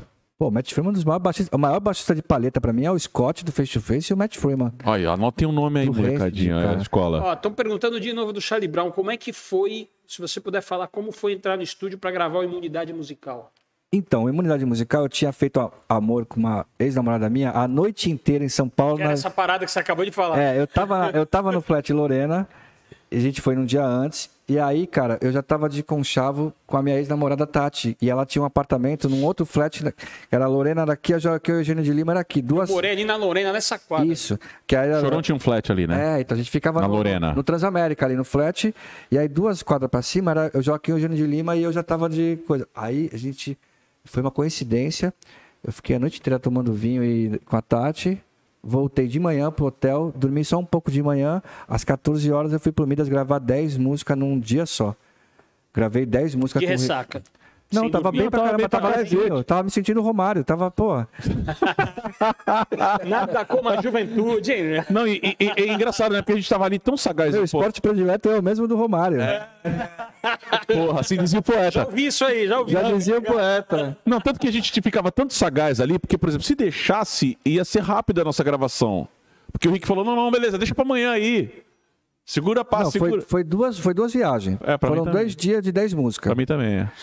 No primeiro dia, e assim, o Rick sentado na sua frente, né? Então, então, assim, cara, foi tesão demais, cara. Puta som. É, você gravar com, com o mestre, né? Comidas, cara. É. Tipo assim, é... o mundo explodiu lá fora. Era uma linha assim. Aí ele, cara, grava mais um take, mano. Tá legal pra caramba, mas grava mais um. Esse aí, ó, porra, velho, foda. Não, e tava um, um baita som, é, né, É. cara? Esse disco, puta, esse disco ficou um sonzão, Coisa né? mano? linda, Senhor do Tempo, aquele baixo, porque assim, eu não gravei com o meu Music Man. Na verdade, ele. Hoje eu, não, hoje eu ficaria mais. Vamos conversar mais. Mas na época, né? Falei, meu, tá bom. Ele, ele, ele me fez gravar com o Music Man dele, que era um verde, ele é palmeirense, né? Falou. Era um verde e ele colocou um, um, um single no braço. Coisa que o Music Man não tinha. Não Hoje tinha. tem Music Man Com single. com, diferente, e tal, com dois humbuckers e tal. Mas na época, ele, tinha um, ele tem um Music Man verde. Music Man com single. Ele colocou um single no braço para dar mais som de madeira. Então você Falou. pega o Senhor do Tempo do disco, é um som de madeira, parece que tá tocando num tronco de, de, Pode de, crer. de madeira. Parece que tá tocando num Precision, assim, só o captador do Precision. É, então, assim. preciso, você falou Fender? O Precision. É, não, então, é, tipo, na é, minha, na minha era Pre- isso. Precision, né? É, prestigiador. Ah, tá, desculpa aí, Ana. É, que a sonoridade, assim. a Ah, tá. sonoridade ele é mais amadeirado ainda. que O Precision, geral- ele tem um som ainda mais característico de rock Ah. e mais madeira ainda, Ele é mais, mais som, fechado. mais Ah, som de, de entendi. braço, sabe? Entendi. E, e aí, aquele, e essa, esse disco tinha muito essa coisa. Então, é, Eu achei que você tinha gravado com o seu. Não, o meu eu gravei duas músicas que não teve jeito, porque o meu era mais instalado. Ah. Mais som de médias altas, definidas. Falou, falou. Então, Liberdade Acima de Tudo, Futuro é um Labirinto e, Uhum. e o Slap, o solo de Nosso Blues, foram gravados com o meu Music Man. Ah. Que era a sonoridade o Lepper tá perguntando aqui como foi o processo de composição instrumental da imunidade musical. Quanto tempo foi para chegar naquele resultado Cara, que vocês conseguiram no álbum? Ou se foi tipo, chegou lá e já saiu? pá, Não, não, tava- não, não. Não, foi uma loucura. A gente começou na Rodrigues Alves, que era o estúdio do Thiago Castanho. A- no começo, o Chorão chegava, sempre deixava umas duas músicas. Ele passava no estúdio cheio de compromisso, tipo, no passo a passo, aonde não existe a paz, não existe o amor. É, músicas como É Quente, entre outras que ele trouxe, ele trazia na, no violão, É. pega a guitarra do Thiago, fazia assim, ó. Den, den, den, dom. Dom, dom, dom, dom. É isso aqui, ó. Falou, falou. Falou. Onde não existe a paz. Fazia ali. Mas a nada E aí o diferente. Thiago terminava. E aí nós, como A músicos, gente ficava ali horas. fritando, fazendo o acabamento, colocando arranjo de bateria baixo, o Thiago é bom Virada aqui, né? Solo ali, linha ali. Ah, é, o Thiago faz as melodias. Ele é do né? É, ele é do Rio. Ah, a gente, pô, ficamos ali, ficamos maturando um tempo ali, cara. Aí depois fomos pro skate park, que aí onde foi? Teve Senhor do Tempo, Futuro Labirinto, Lutar pelo que é meu. É. Foram outras, porque aí já Lutar pelo que é meu, o Thiago já trouxe aquele, aquele groove já do. Tem de ganga, de ganga, de gudan, de gudan. Aí o pinguim já. crer. tum, tac, tum, tac, tum, tum, tac, tum, tac, tum, É, porque quando, é, quando, quando o Chorão mostrou, ia ser pra mim. aí Quando ele mostrou o riff da Lutar pela Câmara, era meio vícios e virtudes. Sim, sim, sim. Aí eu falei, pô, a vício já rola, né, cara? É, você foi determinante ali Aí eu falei, naquele pô, groove fazer ali. um groove. Teto, teto, teto. Ele, Pô, ó, caralho, é, esse ali bagulho aí, ó. Pá, faz de novo. Pá, aí, que nem você. É, faz uma de das, novo. uma das geni- genialidades, né? Da, da, porra, das suas composições, da, da sua, Participação. da sua ali. história no Charlie Brown, a lutar pelo que é meu é. É, pra mim, eu falo que a música mais importante da minha vida é tanto o disco quanto a música. Pô, né? Pra mim é total, divisor de água cara. ali pra mim. Fala, cara, Não, esse baita pá, que é a groove. música que eu mais gosto. Ali foi, pra mim foi divisor É de água. Pra mim, né? O Falei, porque groove ali é- vem a visibilidade, O groove né? é muito Jamaica, né? Com, com, É. com contemporâneo, né? Tudo que eu cara? aprendi eu botei ali. Foi É, mais ou menos demais, isso. cara, mais ou é menos doido. isso. Mas, e... Bom, então falando do processo, né? Pro Nereu, né? Pera... Então, fala aí. Não, então é isso aí. Então a gente ficava horas ali, né, Heitor? Pô, a gente vai ficar 15, 17 horas no estúdio, sei lá. É, e, e assim, então, por exemplo, é, músicas como, tipo, o nosso blues mesmo. O senhor chegou e falou assim: faz um groove assim, ó. Pum, tum. Ele cantou com a boca. Tum, dum, bum, bum, tum, bum. Aí eu tirei no baixo. Pum, dum, tum, tum, tum, tum, tum, tum. Só que na hora do solo eu fiz o solo. Sim. É. E, mas ele que chegava e falava assim: ó, eu quero um blues, eu quero um punk rock, eu quero Como um surgiu a linha reggae. debaixo do futuro, o futuro no labirinto. Então, essa foi de ficar vendo o Vitor Uten fritar nos VHS dele que eu tinha. É, Eram dois, né? Era o Bass Extremes, que era ele com o Steve Bailey. Steve Bailey? Steve Bailey, com alemão, seis cordas, sem traste. Parceiro dele pra caramba. Que não tem nada a ver com o Vitor Bailey. Que não tem nada a ver com o Vitor Bailey, exatamente. Eu, eu, eu, eu pensei se eu tava falando do Vitor Bailey, não, Não, Steve não. Bailey. E aí, cara, o, o outro era um, um, um dele com os irmãos dele, com o Reggie Wooten, com, com a família, tocando. E, e aí ele contando as histórias e tal. E aí tinha um groove que ele fazia que era meio essa onda. E ele, ele é bem. E começava com esse. Cara dele. Aí eu fiz um similar. Eu fiz um. E eu fiquei naquela piração. Eu tava sentado num dia no estúdio, a gente conversando e Fazendo tal. aquela parada. E eu comecei a fazer ele sozinho. no- no- sozinho na minha. O chorão, Não era louco ver isso aí de perto, meu. o chorão Do olhou nada. assim e falou: Cara, faz isso aí de novo. Ele não tinha nem ideia de quem era o Vitor Aí ele- Uten. Aí ele começou, caralho. Aí ele pinguim faz assim, ó. Aí ele virou pingo. Tum, tum, tum, Aí ele começou a montar a batida. Aí, aí o Thiago veio. Aí ficou nesse groove. Tum. E aí foi criando a música. E ele começou a escrever. É. É que, assim, era louco. E o Thiago fez a parte C. é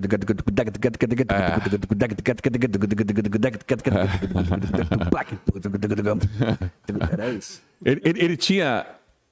É que era foda. Ele falou: Meu, vou arrumar, sei lá, não pensava nisso, mas pô, tenho três caras aqui que vão fazer o que, sei lá. E, quiser, né? É. Porque o Então ele tipo lá, dá uma porque ele- pirueta, o cara Só que o consegue. Heitor vinha com essa bagulho cabuloso. Aí ele vinha. Ele faz. Ele tinha, porque o cara escutava a música pra cacete, né, meu? É. Só que ele tinha cinco, dois, três, três malucos que reproduziam o que ele tinha de ideia. Pode crer. E a gente abraçava, falava, meu irmão. Aí o cara via tua música e falou, meu irmão, os cara. Tem um, tem um momento na, na- na- a gente tá lá na, na pista fazendo. Ele olhava pra nós assim, dava risada sozinho, mano. É, ele, ele foi um dos momentos mais legais do Chorão. Foi nessa época quando ele careteou mesmo, sabe? Que ele parou de, de usar droga mesmo. É verdade. Dá uma pausa mesmo, É verdade. sabe? Foi um dos momentos mais legais do Chorão. Mais gostoso, assim, de viver com ele, cara. Que ele era um cara dócil, carinhoso. Eu conheci, eu, eu conheci o Chorão bem lá atrás, assim, cara, quando ele chegou mesmo em Santos.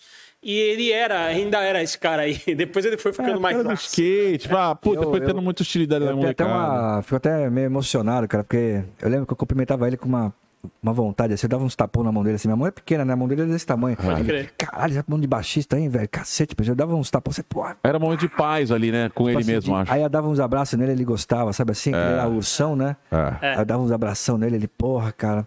Então eu vou te falar que foi um dos momentos mais gostosos, assim, cara, que.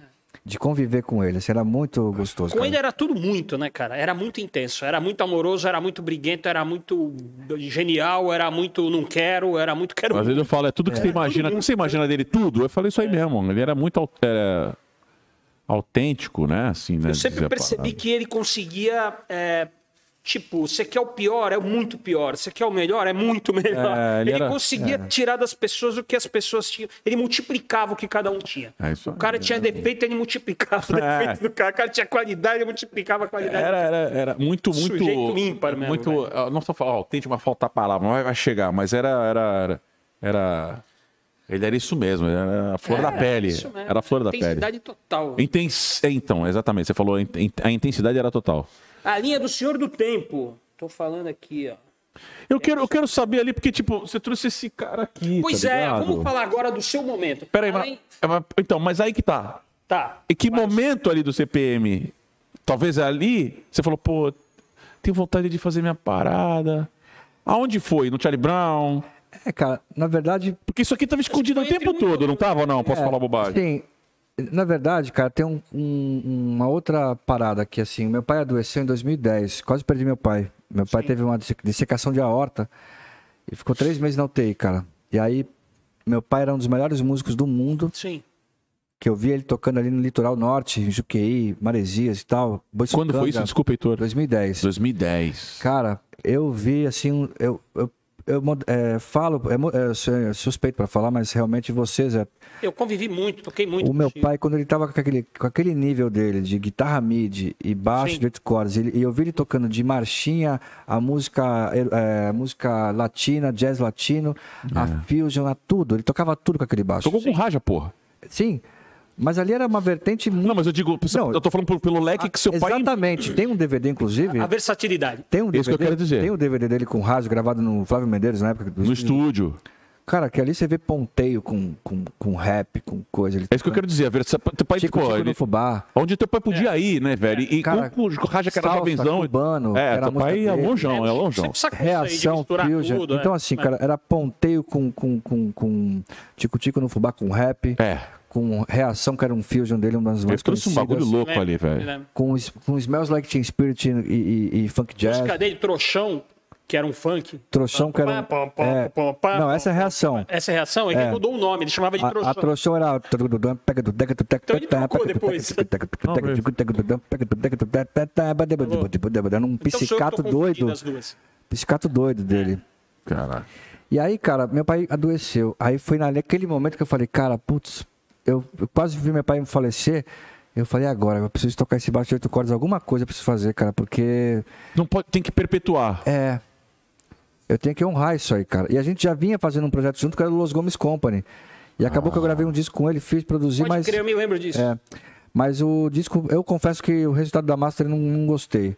E assim, o disco estava parado, tem várias cópias desse disco e acabou não indo pra frente porque era um disco mais autoral de triplo domínio do meu pai e que assim, eu ralava pra caramba pra tocar algumas coisas assim, mas muito focado. Difícil, cara, de interpretar. Sim. Mais do que o Nós Dois, que foi o, o segundo primeiro disco lançado, porque o primeiro disco que ele gravou foi o Só é Bem Acompanhado, que ele lançou posterior ao Nós Dois. E o Nós Dois eu vi ele produzindo, gravando, por Vitor Bilione, Robertinho Silva, Serginho Della Mônica. Cara, mó só monstro. Me lembro Só disso aí, monstro. me lembro disso. Maurício Mauribé, o Debrando Brasil. Cara, o Johnny Costa gravou, que eu vi o Johnny na rua, o Johnny Costa, irmão do Davi. Uma nata assim na música. E aí depois eu, ele, eu vi que ele tinha que fazer isso aqui. Aí, cara, no CPM era o meu, era o meu, minha- meu escape. Refúgio. Era meu refúgio. Eu voltava da estrada e ficava fritando nesse baixo aqui. É porque era muito, era radicalmente outra, outra onda, né? cara? Total. É. E aí eu ficava ali, pô, os caras Talvez o que te completava É, musicalmente. pra caramba. Eu curtindo pra caramba o lance do paleta ali, tocando punk rock, e voltava pra casa e ficava fritando no baixo de oito cordas. Falou. 2013, 2014, eu conheci o Felipe Travitsky da PX, produtora, que lançou o Polo, fez parte do lançamento do Polo na época. Foi o primeiro viral no Brasil, foi o clipe do Polo no quarto. Primeiro clipe que viralizou, que Polo teve... de rap, você fala o É. menino do rap? Caramba. Exatamente, que foi é, esses meninos eu tive a sorte de conhecer na Zona Norte e o estúdio 44, que era do Rafa Bala, monitor do CPM, falou: "Porra, tu tem um projeto tal lá, traz aí pra gente ver". Os caras adoraram. Eu, eu levei lá na época, eu toquei, eu toquei Nirvana, Smells Like Teen Spirit, Californication e, e Hendrix. Aí já gravamos no primeiro dia, os moleques já, pô, vamos fazer os vídeos e tal. Aí foi indo, cara, eu fui produzindo material. Quando. Aí de uma outra situação, eu tava na- numa casa que os caras tinham, que ficavam os caras do Glória, os caras do Restart, a molecada toda ali, que tinha uma, uma, uma galera que ficava junto ali.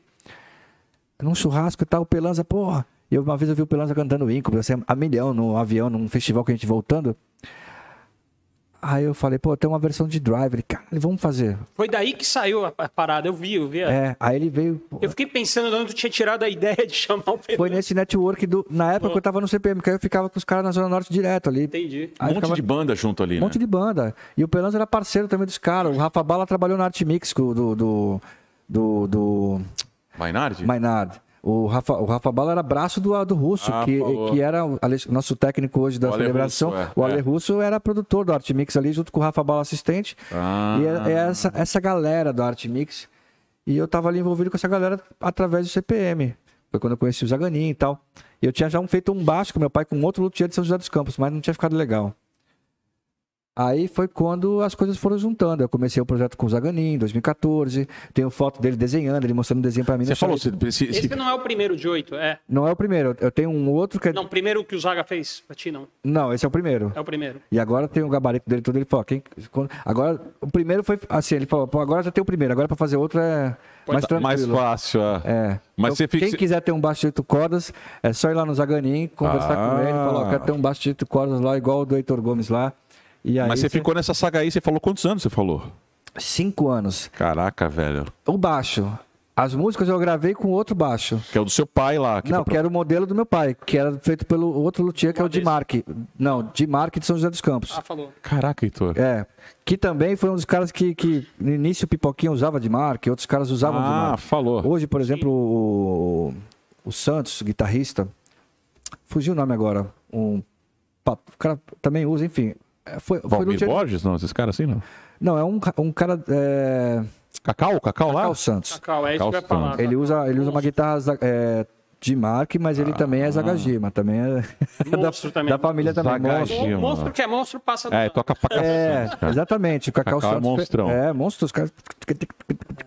Aliás, aquela, aquela- aquele timinho ali. Não, então, Braguinha, e ele- O Braguinha é outro monstrinho Meu também. Deus do céu. Ah, então eles vêm nessas buscas do, do- Então. dos, dos caras dos luthier, cara. Pois é. Esqueci o nome do baterista. O baterista que toca com o Isaac. É... É, e a turma do gospel. A turma que- esses caras do gospel são, são, são violentos. É. Mas ainda assim, o Thiago Espírito Santo é, um- é o melhor baixista pra mim, no Brasil, e um dos melhores É, do eu, mundo. eu sou Eu sou suspeito pra pra fa- falar É, eu que, também. bicho, eu sou muito amigo de um, do outro, do outro, mas eu, cara, eu adoro Não, é. o Thiago, velho. É, o Thiago pra mim é um- é o. Aliás, eu vou começar umas aulinhas com ele semana que vem. Porra, o Thiago é muito bom. Da Rússia. Sai O Thiago Moscou. qualquer- É, ele tá, tá, tá- aí foi ali dar um. tocar ali em um Moscou. ali em Moscou. Ele foi tocar ali na Praça Vermelha e já volta.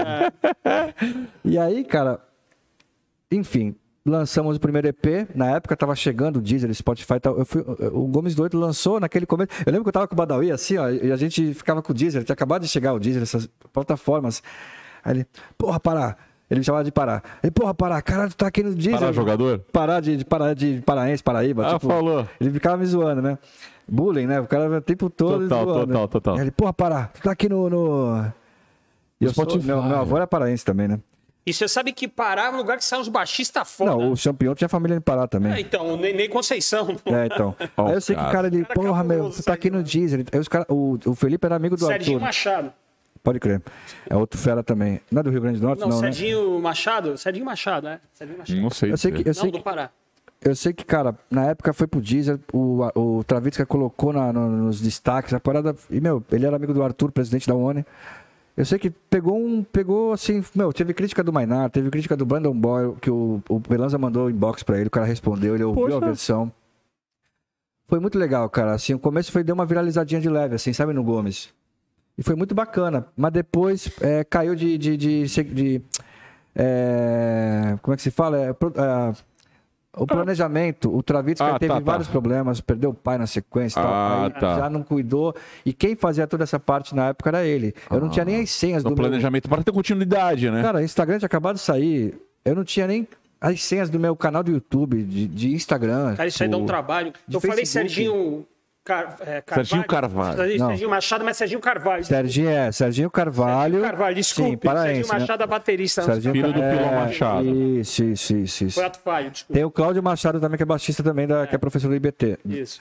É, eu sei que, cara, lançamos lá o primeiro EP e tal, não sei o quê. Pra não ter uma continuidade que você falou, deu aquela barrigada aqui do cara. Daquela barrigada. Mas o começo foi muito legal. E aí, cara, 2014 eu comecei o projeto com o Zaganin, 2015, pá, 2016. Aí o, o Tiagão veio pra cá pra Santos. Heitor, vamos tomar uma cerveja e tal. Aí, pô, Tiagão, tô com um projeto com o Zaga lá, meu. Só você pode vir ele. Calma aí. Alô, ô Zaga. O, o Zaganin só atende ele, né? Ele e alguns. É, e alguns. São Se eu ligar pro Zaganin, por exemplo, ele me responde, tá no inbox e tal, mas se eu ligar assim, né? né? Agora o Tiagão se liga pro Zaganin é em qualquer hora. É. Fala. Tiagão, tal. Tô com o Heitorzinho aquele, pô, o Heitorzinho e tal. Pois é, tamo, traz ele aí e tal, não sei o quê. Aí fui com, fui com o Tiagão. Hum. Aí já chegamos lá, o Tiagão, pô, Zagão, acho que tem que ter a madeira assim e tal. Os caras conhecem, né? Eu sou. É, eu não, sou- é estudioso. É, os caras sabem de madeira que vai no meio, É, que é vai aqui, que vai na. Eu sou. Eu sou Não, mas você manja. Eu sou- sou- Você sabe pedir o bagulho. pô. Aí. Não ia ter o instrumento que tá aí. Thiago é- é que o Thiago é o senhor Miyagi, ele é um cara, É. é, ele é filósofo, Foi ele e ele foi é o Arthurzinho. é. Foi ele e foi o Arthurzinho também, que é baixista do Thiago, do Legado, da banda do Thiago. O Arthur, que, é, que, é, é- que é- trabalha com. Do legado? Que é Arthur luthier- Meirelles. Arthur Meirelles, que Ah. trabalha no, no- no- no- ali no Gonzaga. ali Ele na- tá, ele tá nos Estados Unidos, eu acho, agora. É, ele vive. Né, pá, Não, ele, vivia, ele fazia lá luteria lá, lá. exatamente. Isso, tocava com o Castanho, então agora tá, tá fora. Exatamente, baixista do Castanho e tal. Aí eles foram lá, os caras tudo, né? madeira X, madeira Y e tal. Hum. Aí deu mais dois anos assim. Eu tava em casa no mó deprê, assim, 2019, cara. Já tinha até achado que iria sair mais. Não, eu, eu tava lá. Vira e mexe, às vezes eu, pá, eu, ia- eu, eu já eu tinha gravado o pavilhão. E aí veio uma outra herança. O, o, Thiago, que- o baixo que o Thiago usava, sempre tem vídeo do Thiago Espírito Santo. Thiago Espírito Santo com esse baixo tocando com o Hermeto, com, com aquele violonista é, gaúcho, o, É, o Yamandu. Yamandu. Ele tocou muito com o Yamandu. Aliás, era um show maravilhoso. Ele, Yamandu É. e, e, e tocou no Eduardo- Japão, e Edu tocou não sei aonde. Então tu pega aquele baixo dele, Ah, eu sei. aquele jazz bass, Ribeiro, Edu Edu Ribeiro. Ribeiro. Parece um... Lindo o Flame do Ash, assim, sabe? Tá- É, aquele baixo. Era do Thiago. E aí ele tava com o Márcio e eu na época do pavilhão falei, pô, Tia- ô Márcio, tu não tem um baixo aí pra me jogar na mão pra eu gravar com o teu baixo já? Aí ele, calma aí. Aí me deu esse baixo surrado, ele tava tudo surrado. Na época eu fui fazer uma gig, nem consegui tocar, voltei e falei, Márcio, tá muito surrado o baixo. Ele, não, deixa aqui que eu vou dar um trato. Aí até hoje eu tenho esse baixo que é o N que eu uso. Ah. Em 2019 eram os dois baixos que eu tinha. O Music Man e o quatro cordas que eu tocava com o Mike Muros, punk rock, eu gostava de fazer. Falou! Que coisa! Zaganin Jazz Bass, que era do Thiago. Coisa, assim, eu- Ah, e ele, e- mas o Márcio não me deu. abençoado. O Márcio não me deu. Ele falou assim, ó, eu nunca vi o Márcio falar assim, é teu, você Vai usando, vai tá- usando. tá contigo, tá- então cuida. Mas assim, é tipo, cuida aí, fica com ele, mas eu sei que eu, tô, com- eu cuido dele com o maior carinho. Eu tenho esse Jazz Bass do Zaga. E aí, em 2019, eu, tava, eu tinha separado, eu tava no mó deprê em casa, velho. Aí, duas horas da tarde, assim, uma segunda-feira, eu toco o telefone, eu olho. Márcio. Aí lavei o rosto. Né? O Marcião. Ó, Heitor. E aí, como é que tá? Tudo bem? Ó, tem uma, du- duas notícias pra você, uma ruim e uma boa. Eu falei, tá bom. E ó, vamos pela boa então. A boa, teu baixo tá quase pronto. caraca. A ruim Tá ruim. é que vou ter- vai ter que me falar a parte elétrica que eu já não me lembro mais, cara, como é que era. Aí eu, pô, Marcião. Pô, Eu falei, tá bom, cara. Aí, então tá. Aí fez com o Cabreira, mandar um beijo pro Cabreira Picapes também. Cara, e fizeram um projeto Aliás, picapes top. né? É, Cabreira. Aí ele fez um projeto maravilhoso, cara. Eu fiquei na dúvida se eu punha Malagode ou Cabreira no meu. Eu acabei pondo Malagode, mas é, bicho, Cabreira é cabulosíssimo. Ele fez um projeto aqui, cara, que é uma caixona que tem três tipos três, três tipo de captador no mesmo, na mesma caixa aqui, cara. Então, porque não existe esse cap. é, foi feito só pra ele. Ah, Não, entendi. eu nunca vi isso aí. É uma caixa só mesmo. É um... É uma É, então, caixa pra só mim, mesmo. é, pra mim, tu vê, é, é surreal, assim, porque eu falei, baixo não é a mesma coisa, é um mundo diferente, né? Então, tipo, eu achava que, pô, já existia. Não, construiu pra parada. Você sabe que quem começou com isso aí no Brasil foi o Ladessa, que na verdade a parada dele era a parte elétrica mesmo, entendeu? Ele começou a fazer uns, uns captadores diferentes, umas coisas assim. O do teu pai foi um dos primeiros captadores que ele fez nessa onda aí, de- tipo, põe um de guitarra aqui, troca, faz um single gigante. Põe... É, então, porque na verdade, o do meu pai é o seguinte, ele tinha dois humbuckers de baixo. Hum.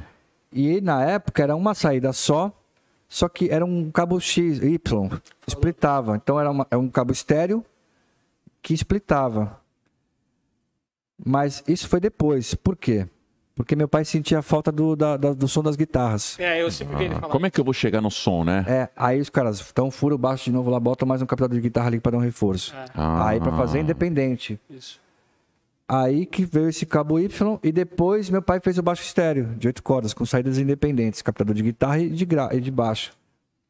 E aí o- esse aqui. e, e esse aqui, é, esse aqui o Márcio fez ainda mais.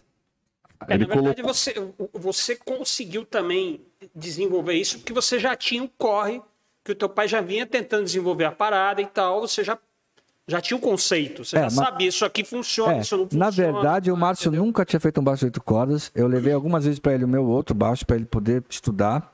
E a parte de captação ele também foi um desafio para ele. Sim. Ele falou, Heitor, eu vou fazer uma caixa, acho que vai dar certo. Vou fazer uma caixona e lá eu vou colocar um captador se você quiser fazer só o baixo de oito cordas.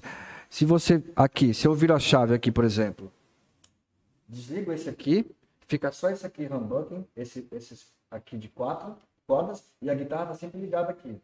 Mas a guitarra para ligar tem que espetar outro cabo aqui, Falou. senão não sai o som da guitarra. Aqui, volume desse cara. Tá catando aí? Cata, né?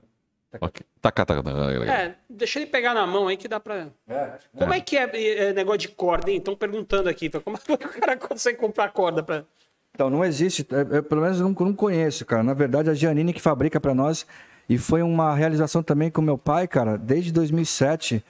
É, o produtor do Planta e Raiz, na época, o Léo, que hoje trabalha com, com MC Mirella, não sei o que, tá viajando o mundo inteiro. Léo Reis? Léo Reis. Ah, o produtor. Ele era produtor do Planta em 2007. E falei, Tô, tu gosta, de, vai usar a Janine? Eu falei, vou. Aí, então tá. Aí me botou na guia lá com, na época, com o outro Léo, que era marketing. Aí eu liguei de lá, ele falou, demorou, então, não sei o quê. Conhece, pô, conhece teu pai, tá? Como é que ele quer falar com você? Meu pai vivia quebrando a cabeça para montar baixo de oito cordas, sim, né? Sim, é, Emendava a, a corda, desenro... desencapava a corda de, de baixo, sei lá. É. Pegava a corda de guitarra. É. Pô, coit... meu, sofreu, sofreu. É. Não tinha, que doideira. Não tinha, cara. Aí eu falei, meu, coisa... tá. Aí meu pai falou, ô Léo, você faz a bitola ponto .016? Faz a bitola isso, bitola faço. Tá bom, começou a chegar em casa os jogos de corda Caraca, da Janine, oito cordas Cara, eu, gosto muito de corda da Janine, eu uso corda da Janine no meu baixo. Eu só uso corda janine há muitos anos. Eu gosto, é, é macia, ela é, é ela é ma... de tocar. É macia. Não, é muito, meu... não tem aquele brilho chato de. Pois é, cara. Eu não, também. É, pra caramba. Eu vou são falar... conquistas, eu né, não entendo Heitor? nada disso. Eu sou tô um curioso que tá começando, mas assim, 500 anos vivendo na música, né? Vai, não tem como não manjar. É, entendeu? Eu, eu, eu tentei várias, eu cheguei à conclusão que Janine, cara. Pô, que corda legal. Mas é um porra, velho. É uma... Pois é, cara. Não é, cara? Olha, e aqui só para explicar melhor, né? Claro. Isso. Aqui, o projeto do, do, do Marcião, cara, é um, o headstock preto é referência da Gibson. Tá. Os, os headstocks da Gibson, guitarra, Les Paul tal, pode ser o que, cor que for, é preto, né? Falou. E a gente falou, vamos fazer um headstock preto, igual da Gibson. Legal. Eu falei, Márcio, eu quero uma cor bem moderna. Ele falou, Heitor, a cor moderna, cara, é esse degradê. E por que, que é azul? Tu que pediu azul? Por causa do mar, da praia de Santos. Ah, falou. Ai, caceta. O céu, o mar. Não, meu, o instrumento é lindo, cara. É. O instrumento é lindo. Eu cara. não sei como é que ele conseguiu fazer um braço tão fino, tão estreito e tão largo, com uma tensão dois, tão grande. São dois tensores. Dois tensores. No meio aqui são dois tensores. Tem aqui ó, o sistema igual do Music Man, que é muito fácil, só com uma chavinha você, você muda. Você controla os dois tensores. Mas você, você controla... controla... os dois com uma chave só, com é, que ele um tem puxador aqui, só. É. E ele com a solução do Márcio, né? Aí o designer dele.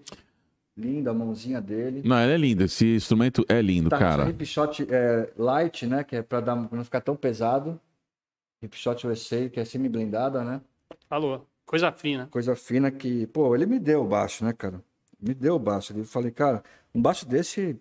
Não tem, assim, tem valor, mas é, é ele me deu. É, você, vai, você vai somando todos os valores aí, você fica um é, bagulho, bagulho maluco. A construção, esse, essa escala, por exemplo, é, é raro de você achar uma escala desse tamanho, dessa madeira.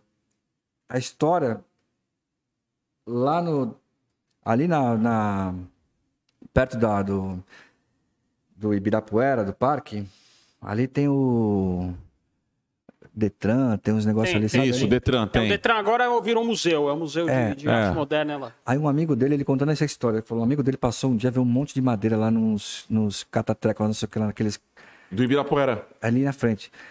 Márcio, tem um monte de madeira aqui, eu acho que alguma coisa te interessa. Vem cá ver, velho. Que doideira. E era porque eram uns, uns bancos lá. Do... Acho que é... tem outra parada aqui ali também. Acho que é tipo. É, município, é, alguma coisa da, da, da, do municipal. É verdade, é verdade. Do lado. É, é um complexo ali, tem vários prédios ali. É, e tem algum negócio da prefeitura ali. Isso. E aí os caras, aquelas coisas antigas, madeira. Isso aqui é, é, é coisa de muitos anos atrás, veio lá da Bahia. E aí ele, quando ele viu, ele falou, nossa, aqui é ouro, velho. Ele fica lá, pegou uma Kombi lá e catou as madeiras tudo do, do, do que tava no, do lixo. No, Jogada. Nos latão. E, meu, e é raridade. Caraca. Essa escala inteira, porque ele ia colar duas. Ia colar duas para fazer. Falou. Ele pegou uma, conseguiu um shape inteiro, cara. Achado baixo, né, é. cara? É uma obra de arte. E aí, cara, a ponte foi ele que fez também. Né? Ponte individual, por, por corda, ele que montou. O sistema é dele também, o pré. E aqui é o que eu estava falando. Quantas baterias? Duas? Uma. Uma? É. Aqui, é assim, vamos lá. Esse primeiro captador aqui, esse humbucking, é esse aqui. É esse volume do humbucking. Esse é o volume da guitarra, desse outro. E esse é o volume do oito cordas. E aqui é um tone da guitarra. Aqui grave, médio, grave, agudo e médio do, dos baixos, dos sons dos baixos. É isso. É louco, cara. Aqui, série paralelo. O humbucking. Estão Série- pedindo para você tocar. Cara, ó, é bem diferente do que é com a pedalzinho da guitarra e tal. Eu vou explicar. É, eu, tenho um, eu botei um monitor aí, compra uma cocada, ganha um monitor É, por assim, e uma linha direta. Dá pra lá entender, dá pro pra entender. Não, não, dá Então, pra entender não é que, o pô, som mesmo do teu instrumento, É tipo né? o Heitor é o fa- sabe fazer ao vivo, mas a gente sabe que tem toda uma construção. Essa tá afinadinha ali, olha. Eu vou, inclusive, passar aqui na fita.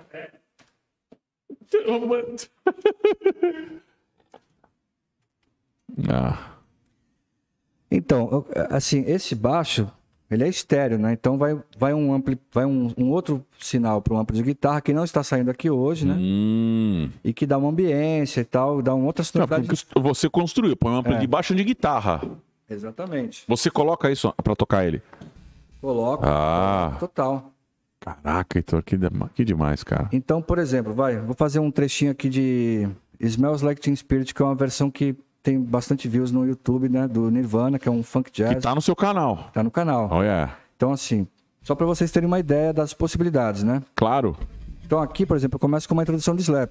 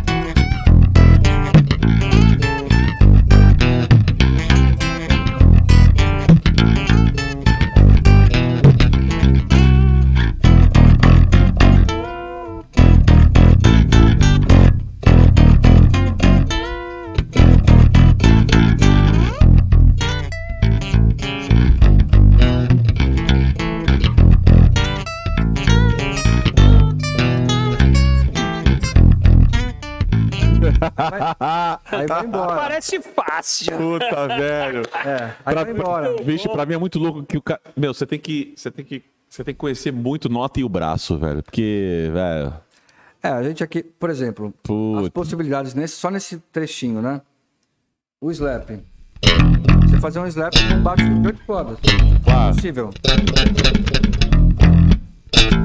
A melodia. Aí quando entra a música, vira o triplo domínio. Que a mão esquerda faz o baixo e os acordes de apoio.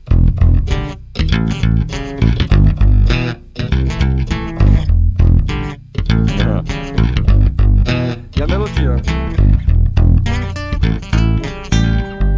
E aí, aqui a melodia. fácil. E aqui a melodia, aqui a melodia oitavada, né?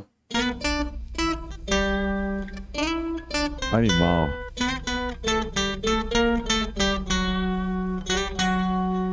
E aí, por exemplo, tem uma parte da música que você pode fazer, por exemplo, um, um, um walking bass de jazz, né?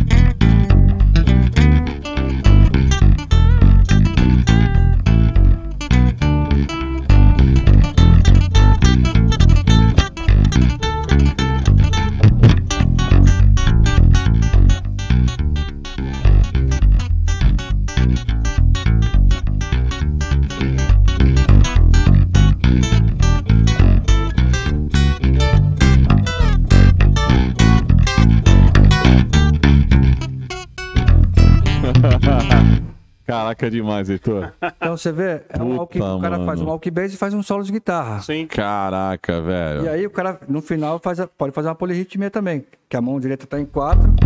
Aqui. É, então. Então, mas quem não entende fala. Aí aí fica mais difícil ainda porque você tá fazendo uma polirritmia. Que você tá fazendo Agora uma tem um mão, detalhe, que a Um ritmo com uma pensa- mão e o ritmo com a outra mão. Exatamente. ó. A linda harmonia. Aí você volta pro triplo domínio. Então, assim, olha só quantas possibilidades só na Smells Like Teen Spirit. O cara faz um slap, o cara faz o triplo, a melodia, as oitavadas. Não, o cara não faz nada. Você tá fazendo. o cara não faz, malandro. Aí o cara faz a passagem, Caraca, aí o velho. cara vai pro solo de jazz, aí vira jazz no meio da música. Aham. Um funk jazz, um- já um rock tocado num funk jazz. É. Aí vai pro rock bass. É muito conceitual a parada. Então, aí o que acontece? A mão direita começa fazendo acordes e o a mão esquerda vai fazendo só baixo. Depois a mão es- esquerda continua fazendo baixo, walking bass, e a mão direita vai pro solo. E depois faz aquela polirritmia com bicordes, né? Que seria um tipo um- como se fosse uns power chords, né? Sim. Agora tem um detalhe, porque você fala, ah, o, o Stanley Jordan faz isso, ah, o Marcinho Eiras faz isso, só que não, porque ele faz o baixo, completa, faz o baixo com esses dois, completa a harmonia com esses outros dois, e aqui é outra parada, esses guitarristas eles tocam, eles tocam a melodia, a maioria. É. Né? É. É. diferente de você fazer o baixo completar a harmonia. Não, e é toca o numa guitarra. Primeiro que ele já domínio, começa a tocar que é guitarra, não toca no baixo. Mas eles são totalmente capacitados para fazer. Por exemplo, lá fora, desde os anos 70, a gente tem os, os shapes do Hermit Chapman, que são os famosos sticks.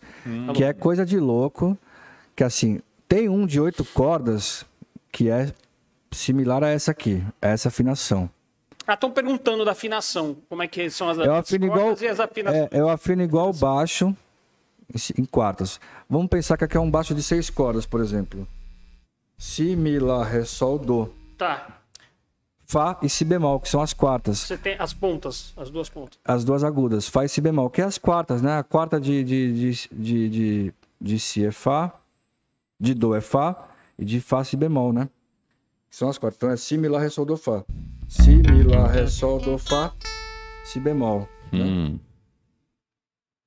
Só que eu toco meio tom abaixo. Igual o Charlie Brown, igual a afinação do Charlie Brown. É, eu fiz isso por causa de um outro menino que cantava comigo, pra ele chegar nos covers, Putz, vai chegar. era Ah, confortável pra ele. Entendi. não fica tão agudo. Aí eu, como já era Charlie Brown também, né? É, e também acho que fica mais. A tensão é menor, fica melhor pra você fazer o tapping, né? Ou não tem a ver? Ou você trocaria a corda, no caso? Não, é, você regula pra ficar com a mesma tensão, né? É? É. Na verdade, se eu afinar do jeito que ele tá, vai ficar um pouquinho mais duro mesmo. É, é se eu eu quiser tô a mesma maciez desse, eu tenho que é, puxar, um puxar um pouquinho o tensor, né? Puxar. Se eu quiser um pouquinho mais alto, tem que soltar o tensor, né? É, e a ponte também, né? É, depende. A ponte às vezes é mais para oitavas, né? O tensor já é justamente. o- Esse tensor aqui, esses regulares, igual de Music Man, igual o Zaga faz, já é justamente para facilitar você estar na estrada. Às vezes, vai- vamos pro Rio Grande do Sul agora, por exemplo. Se eu for pro, Outras pro sul, temperaturas. vai colar, porque é frio, aí vai colar. Se vai pro calor, sobe, né? A madeira sente, a madeira é orgânica, né? Então, é, aí o tensor justamente é para facilitar esses ajustes, sabe? Hum. Então, cara, Entendi. É isso. Você pode fazer bend, né, cara? Então, mas eu volto a falar.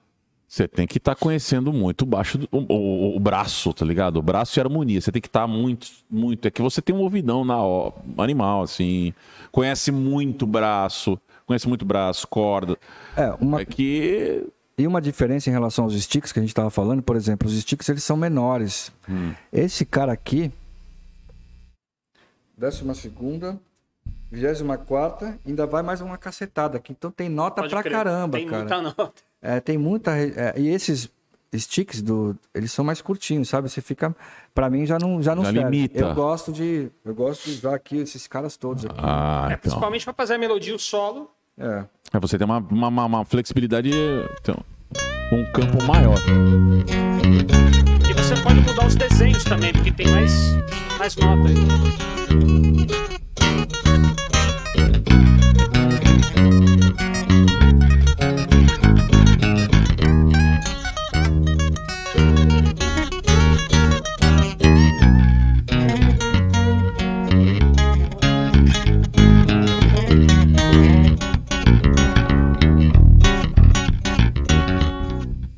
Você viu aqui fazendo Hey já, Joe. Hey Joe, já explorando mais os bands e tal. O que acontece? Tá sem distorção, tá sem nada.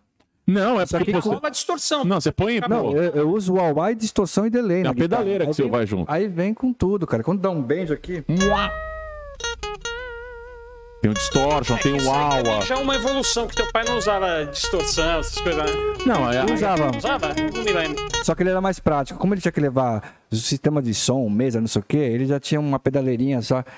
Sabe? Ah. É que a gente vem dessa escola do Thiago Castanho, dos Guitar Hero. A gente quer wah quer drive, tudo É separado. verdade, é Meu pai já verdade. tinha uma Um multi-effects. zoom fazia tudo. né? Era uma Boss, né? Ah, que pode- seja, você- é. Primeiro que você pode que levar aquela cacetada toda, né, cara? Ampli, é, suportes, dois baixos, às vezes, é, Aí meu. meu pai já. Só que meu pai era louco pra caramba, Vou cara. otimizar. De que forma? Aí vai, Por aí ficava... É, meu pai era louco pra caramba. É, Assim, é o que eu falo. é, Eu, a gente toca, né? Às vezes não fica, às vezes não se dedicar tantas horas. Meu pai foi muito louco, cara. Ele foi desbravador pra caramba. Foi. E, por exemplo, hoje quem se quem é essa referência que fez essa loucura de buscar os mids e tirar som de mid, e tudo quanto é, é o Eiras, é o Marcinho Sim, Eiras. sim, Marcinho. Eu já sou mais, cara, a minha pedaleirinha é desse tamanho tem três pedais. O Eiras, cara, já tem um pedalboard Um desse trambolho. tamanho, meu, que é com tudo quanto é pedal e tal e faz. Eu já eu já sou mais prático, eu já venho, eu sou mais rock and roll mesmo, eu sou mais simples. Mas é, Pelo menos é mais, né? é, eu vou na minha, que eu vou, faço meu, um drive, um delay, um, um, um, um, wah-wah, já fica mó som. E o baixão eu nem uso efeito, é só afinador, nesse caso aqui. Falou. E eu vou nessa, cara, porque é, é isso, né, cara? É, é feeling, é, é o que eu- é a minha proposta. É a minha proposta. É o que eu. É, é a minha proposta hoje, é essa. Entendi. Entendi. Você sabe que como eu sou o Forrest Gump que ele fala, eu tocava, eu tocava com o Márcio Eiras na noite em São Paulo, na década de 80. E, e ele só usava um pedalzinho. ele ainda não estava desenvolvendo. Naquela entendeu? Naquela época. Lá, né? Lá. É, então. Porque muitas coisas evoluíram, o cara também, anos ali maturando e Ele já tal. tocava pra caramba, Não, mas. ele- guitarra Ah, não, tô tirando- É. É. esses caras são muito estudiosos, aqueles Isso caras. mesmo. A gente foi muito punk rock, né? Bom, galera, eu vou- colocar o baixo aqui de novo, tudo bem? Tudo bem, tudo, Beleza. tudo jóia. A gente tá ainda ali, né, sabendo agora o que você está fazendo, o que, que é agora esse baixo para você. Tem a turnê agora que tá acontecendo também, que a gente tá fazendo lá, né, Pois meu? é, vocês muita- estão aí na. Como é que é o. Como é, é que é essa parada aí da, da turnê dos 30 anos? Tá rolando. Tem uma agenda que Tem uma agenda visto. grande, tem lá o, o Instagram lá do, do, do- projeto, né? O CB, cbjr.marcão Thiago 30 anos. Então tem o Instagram lá, também você pode dar um Google e achar a gente lá. Falou. Então tem, tá rolando uma. uma, Tem uma- umas agendas aí. tem uma né? agenda já Você ela. lembra de cabeça não? Putz, não, não. Você lembra de cabeça? Eu sei que o primeiro show agora a gente vai fazer agora essa semana, que tem aí. É, né, todo mundo depois que vai ver, vai ver que aconteceu dia 25 de junho, É, no Qual Stage no Rio. Rio de Janeiro, Depois nós show. temos dia 8 e dia 9 de julho lá pro sul. Na semana seguinte. Dia, dia 8. Você eh, lembra os Porto dias? Alegre, dia 8, dia Meu 9 Deus. Jaraguá do Sul, né? É. Aí depois a gente tem, acho que hoje mudou, Maceió, acho que foi para dia 16 de julho. Era 15 de julho, foi 16, é. E aí depois tem dia 30 São Paulo. Que é ali isso. Tem, Esse eu vou, hein? Esse eu vou. Tem Santos, né, também, né? Eu vou, inclusive, fazer agosto. uns vídeos doidos lá no, Vai fazer o que você Grupo quiser. Mania. Vai fazer o que, que você quiser. Opa, estamos aqui. Legal, Estamos aqui no Grupo Mania. Backstage, Ó, Charlie Brown Jr. Estamos com a colinha aqui, ó. É, Charlie Brown Jr., Dia- 30 anos, Thiago, e tem que falar direito o nome, senão vão... Ah, não, vai nada. Na Tour, Marcão e Thiago. Marcão, Isso. Marcão Brito, Thiago Castanho, Charlie Brown Jr., 30 anos, Isso. com duas baterias agora, Pinguim e Graveto. E graveto. Dia 25. Dia 25 agora, no Qual Stage. Isso. Dia 8 e 9, como eu falei, Porto Alegre e Jaraguá. Dia 16 de julho, Maceió. Dia 30, São Paulo. Aí, agosto, dia 6, São Santos. Dia 19, Brasília. Dia 20 de agosto, Goiânia. Em setembro, dia 2, Teresina, Piauí. A gente vai lá para o Nordeste. E dia 3, São Luís do Maranhão. Dia 24, Belém, Pará. A terra do Tacacá. A terra do Tacacá, né? Os teus ancestrais. É. terra de Batista. Dia 7 de outubro, Maringá, Paraná. E depois, dia 8, Ô, tenho amigos em Maringá, Curitiba. de repente eu vou nesse, hein? Quanto Paraná. tempo em Maringá? dia 7 de outubro. 7 de outubro. Sete- A gente faz Paraná. E a gente vai re- revisitando, né? E dia 22 de outubro. A sede da Minds é no, em Maringá. A sede oficial? A sede Ótimo, oficial Maringá. da Minds. Legal, em legal. Fala pra sua amiga colar com a gente é- lá. é Maringueiro. Maringá. E pra Se eu fechar. for, eles vão te procurar lá. Então, tá E pra fechar por enquanto, dia 28, 22 de outubro, festa fechada. Acho que a gente vai tocar num casamento no Ceará. Tem muita gente perguntando sobre esse É, show então, do Ceará. molecada, pô, mas cara, vai pro Ceará, festa fechada, pô, mas você vai. Aí que a gente fala. É um casamento. Se quiser entrar, vai ter que se vestir de madrinha lá de casamento. Pô, Barão, o cara do casamento aí. Eu não sei, cara. De repente ela. É muito amigo do. Não, então aconteceu essa fita aí. O cara Ó, vai tem uns ingressos lá, mas é só pra madrinha de casamento. Vai ter que. Inesperado, que a molecada. Tem muito fã lá também, né? Então a molecada dessa cobrada. Pô, mas vem pro Ceará e não vai Cara, eu tocar. acho que Charlie Brown tem fã até na Lua. Mas é que tá, a gente falou, a gente vai ter Marte. Caso o cara fala, é ou sei lá, o extraterrestre convida, chega ali na, na nossa agenda ali e, e- e manda o e-mail pra contratar, a gente vai até Marte. Agora, Né? É, tem que fomentar a Musk, molecada. fácil, Na né? molecada e, e fiquem tranquilos, que a gente tá trabalhando seriamente pra chegar em todos os lugares possíveis, né? Então, E impossíveis também. é, a gente tá indo na medida que a demanda tá criando, então a gente vai chegando lá. perguntas aqui, mas, cara, a gente vai ficar até amanhã respondendo perguntas. Não tem problema. A galera gosta. Heitorzão, porra. A galera gosta de ti, viu, velho? Obrigado, viu? Fico feliz. Como é que criou a linha do Senhor do Tempo? Ah, de novo, essa aí é icônica, Senhor do Tempo. Os caras são teu fã mesmo, viu, mano? Ah, não tem como, né, cara? Eu fico, fico feliz pra caramba. Eu agradeço ao Papai do Céu todos os dias. É isso. É, é isso, galera. Uma das, o segredo que eu falo pra galera é a espiritualidade, sabe? Porque tocar bem, tem muita gente que toca bem. Verdade. E, mas assim, personalidade. Certa vez a gente, eu cruzei o Tadeu Patola quando eu era moleque, ainda tava com o Ruivo. E aí, Grande Tadeu Patola. Virar É. aqui, hein, Tadeu? Aí ele falou que vai vir. então, eu tava com o Ruivo, a gente no Hot Grogs lá e fomos lá na casa dos caras do Aliados, ele tava produzindo o Aliados, primeiro disco. Aí o Tadeu saiu e falou: "Galera, é o seguinte, música é 50%. Os outros 50% é personalidade, é compromisso, é pontualidade, cara, é, sabe, responsabilidade, uma série de. Então, não basta só você tocar bem, você tem que ter educação, tem que ter. E assim, eu tenho um tripé que eu carrego, Disciplina. uma coisa que eu, que eu que assim, a gente é espírito, mente e, e corpo. Os três têm que estar cuidados. O espiritual, então, seja do candomblé, da católica, da evangélica, você tem que Onde cuidar você disso. se sentir bem. Você tem que cuidar disso, porque a gente precisa cuidar disso. Sim. É o alimento da alma, é a nossa, é a palavra, é a palavra de Deus, é a, a nossa fé, é a palavra de Deus, é os, são os livros ali bíblicos. É isso, é, é o alimento da nossa alma. A mente é a intelectualidade, é você se modelar, é, ter educa, é procurar ser Cultura. ser melhor, ser melhor pessoa, se- tratar o outro ser humano melhor, ser mais educado, saber ouvir mais, falar menos. E o corpo é, vem em último para mim, que é o físico, que você também tem que cuidar. Tudo é bom, mas transar demais é ruim, comer muito chocolate é ruim, Dormir muito demais é açúcar, ruim. dormir demais é ruim, comer muito açúcar é ruim. Então, É o- cara, É o equilíbrio, é o né? equilíbrio, cara. É isso, cara. E acredita no sonho. Eu acreditei. Mas eu tive que fazer uma outra. Eu tive que me modelar totalmente e, e- e deixar de sonhar para o Papai do Céu me, me mostrar que eu, agora eu estava indo no caminho certo. E mais uma coisa, o, assim, vocês estão fazendo show de, de comemoração dos 30 anos do Charlie Brown e o Gomes do Oito? Tem algumas paradas por fora? Tem teu, teu- teu corre? Como é que é? Perguntaram também isso aqui. Você tá pois é, cara. É, o. Gomes, o Gomes do Oito é, é um trabalho autoral, sim. Agora tem um trabalho autoral. Eu fiz, eu, eu fiquei conhecido com versões. Eu tenho um disco gravado com parceiro com parceria com o Calango, que é um dos rappers revelados pelo grupo Autoral? Ah, autoral. Olha. que, é, que foi revelado pelo grupo de- rap carioca 1 quilo, né? O Calango. Então eu tenho Moleque da rima bom. bom pra caramba dessa fase do rap acústico. E hoje tá virando a chave também pro trap e, e, e pra música mais eletrônica. É, compomos, compusemos um disco de 13 músicas. Heitor, que legal, É, cara. temos 13 músicas autorais, muito legal. Assim, enfim, são, são diferentes, são autorais. Mas a gente fez uma turnê pelo interior, foi legal, foi satisfatória, mas como todo projeto autoral e de início de carreira, é, é bem difícil você Sim. ter ainda uma, uma valorização, ainda mais se você não tem uma música na rádio tocando, É, estourada. a gente também é na guerra, não, não, tá, não tá chovendo dinheiro pra poder investir em certas coisas. Então você tira um dinheirinho daqui pra poder investir num sonho É, ali. foram dois anos difíceis, esses dois últimos. É, É. então. Então, assim, é, o Gomes do Oito, ele, ele, ele vai nas oportunidades, né? Em termos de, de show ao vivo. Então, por exemplo, em 2019, eu tive três apresentações bem bacanas. Que, por exemplo, uma delas foi a abertura do show da Cintia Luz no Arena Club. Ah. foi muito legal tocar com o Gomes do Oito lá. Foi eu, DJ Leão e Leandro Delta, que era um menino aqui de Santos. É, fiz o aniversário de um ano da New Era, que é uma, uma a, a franquia que tem aqui na Baixada Santista do Paulo, da Paula e do Vini. Um beijo, obrigado, são Legal. meus apoiadores. E fiz o quatro anos de Multiabreja com o Gomes do Oito. Então foram oportunidades que pintaram.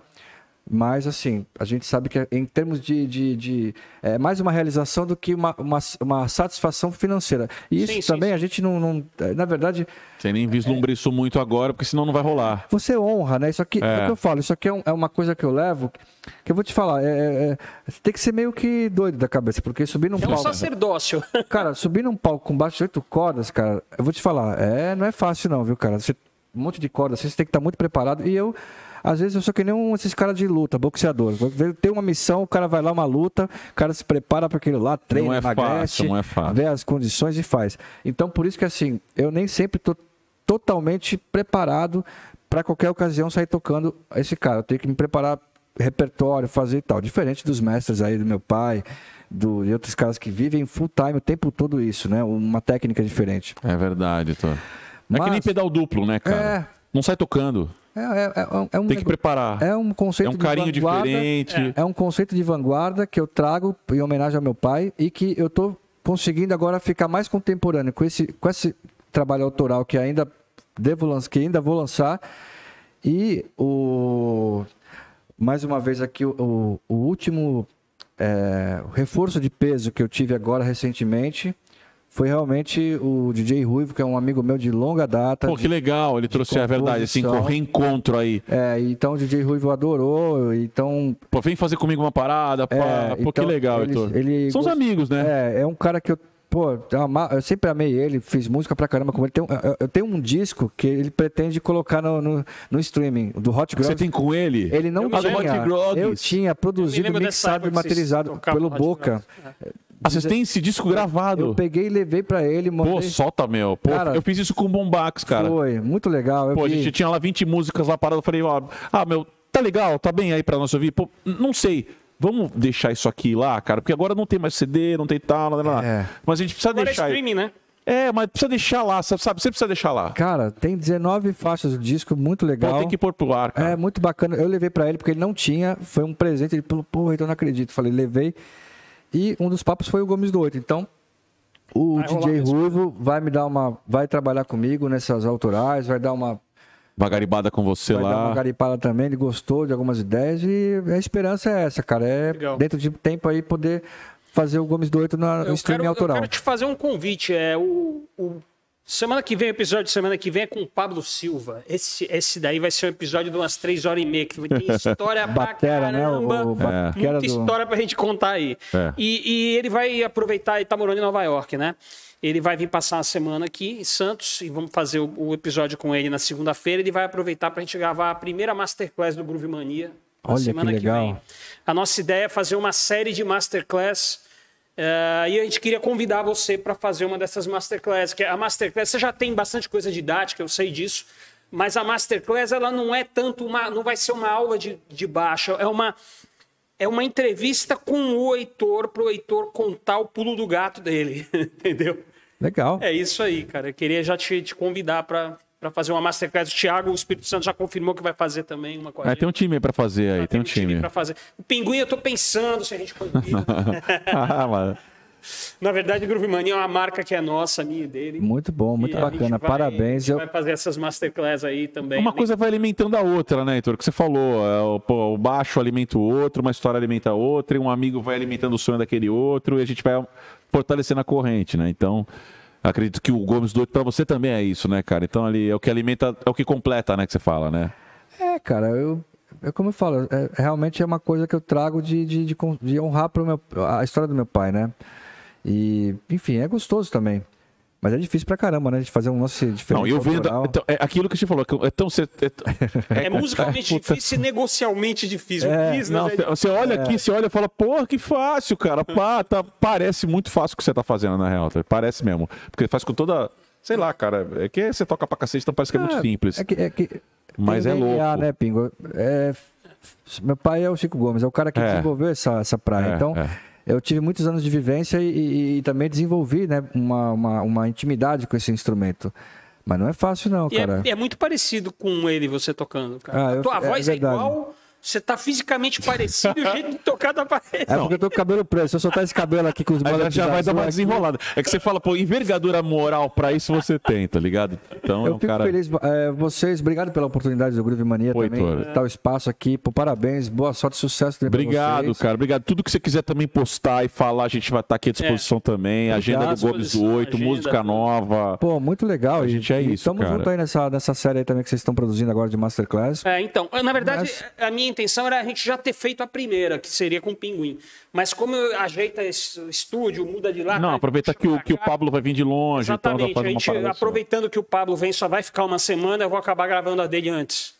É, não sei se a gente- quando é que a gente vai, se a gente vai juntar umas três ou quatro, lançar tudo junto. Isso a gente tem que pensar. Legal, também. esse plano, pô, desenvolve, É bacana. porque é. tem que, do ponto de vista negocial, tem que ser um negócio legal para os músicos que vão participar. Principalmente. Ah, bacana, é. Não, pô, você legal. tem que estar à vontade. Tipo, até não, não vai pro ar se não for. O Não... game também dá grana e tudo, tem que estar com isso tudo bem articulado. É, o pra business é principalmente, caras. Não, exatamente. legal pra caramba. É, pô, já tava O principalmente. business tem que ser legal, entendeu? Pô, legal pra Então, caramba. Tava pensando em trocar de carro, cara. Acho que essa é a oportunidade. pô, de repente, Meu irmão, Tô brincando. pô, de cara. É essa aí. Brincadeira. Fala, não, fala mais alto e joga pro ar que ele volta, cara. Brincadeira, Não, o universo conspira a nosso Não, favor, mas é cara. meu carrinho Hot Wheels, eu falei. Não, não, o universo conspira a nosso favor. Sabe que eu sou danado, né? Eu, eu, pô, quando eu falo o que eu vou fazer. eu- Não, cara, pô, o Vira. Groove Mania tá aqui, cara. Era uma coisa que o, que o Zé tava na cabeça e o bagulho virou e. É, eu Mas eu falei brincando, é meu, é meu carrinho de rolemã que eu tenho lá na garagem. Ah, para, velho, para. Não, cara, joga pro universo que ele volta. Olha, Então é pa- isso. parabéns, sucesso, viu, pra vocês. Muito obrigado. Obrigado, Heitor. A gente Heitor. agradece demais você ter aceitado o convite, falar um pouquinho da sua história. Pouquinho não, né? Mas que você tem 20 anos de carreira É. e de história musical.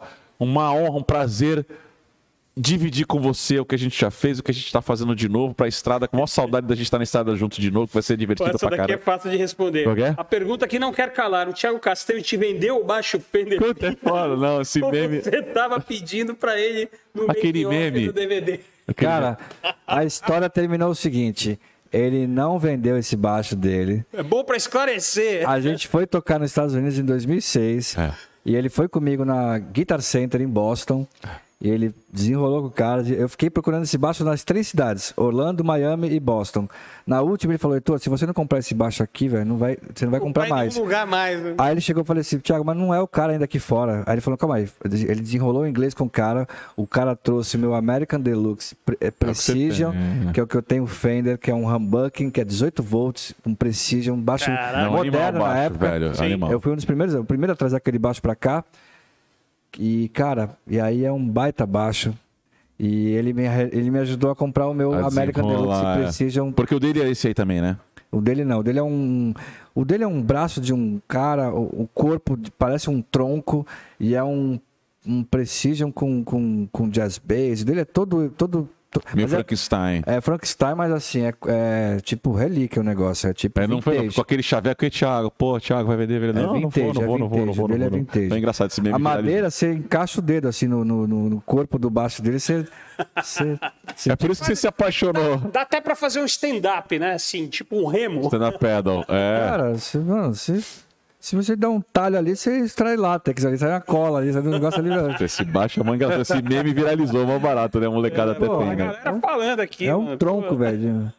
Mas eu fiquei ali, pô, vira esse baixo aí, vira esse baixo aí. É mó engraçado, mó E engraçado. ele marra, então, ele tocando a violinha ali. É isso aí, moçadas. Queremos agradecer. Obrigado Minds por estar com a gente. Obrigado com a pela gente. parceria e, e- e- e acreditar aqui no sonho dos meninos. Estamos juntos. Tamo aí, né? Zé, Valeu, hein, meu obrigado, hein, maluco? filho. Heitor. Heitor. Show de bola, cara. Fiquei muito feliz Obrigado, de ter Zé. aceitado o nosso convite. Satisfação, Heitor. Obrigado a todos que estiveram Obrigado com a gente você, aqui. Obrigado né? vocês. Pararam um pouquinho do momento para ouvir a história do Heitor, a nossa história aqui. Então, muito obrigado a todos- a todos que estão com a gente. Semana que vem, segunda-feira, tem mais. Pablo Groove Mania. Pablo Silva, Grupo Família, Cheio muito de obrigado. monstro. Tamo junto. Certo? A música Salve Conecta as pessoas. Certo? Boa noite. Edu, obrigado. Edu Ribeiro no corte. Tamo muito. Vanessa Toneto também, obrigado aí, Toneto, produção. É nós a todos que ficaram aí. Boa noite. Se cuidem e a gente se vê em breve. Tchau.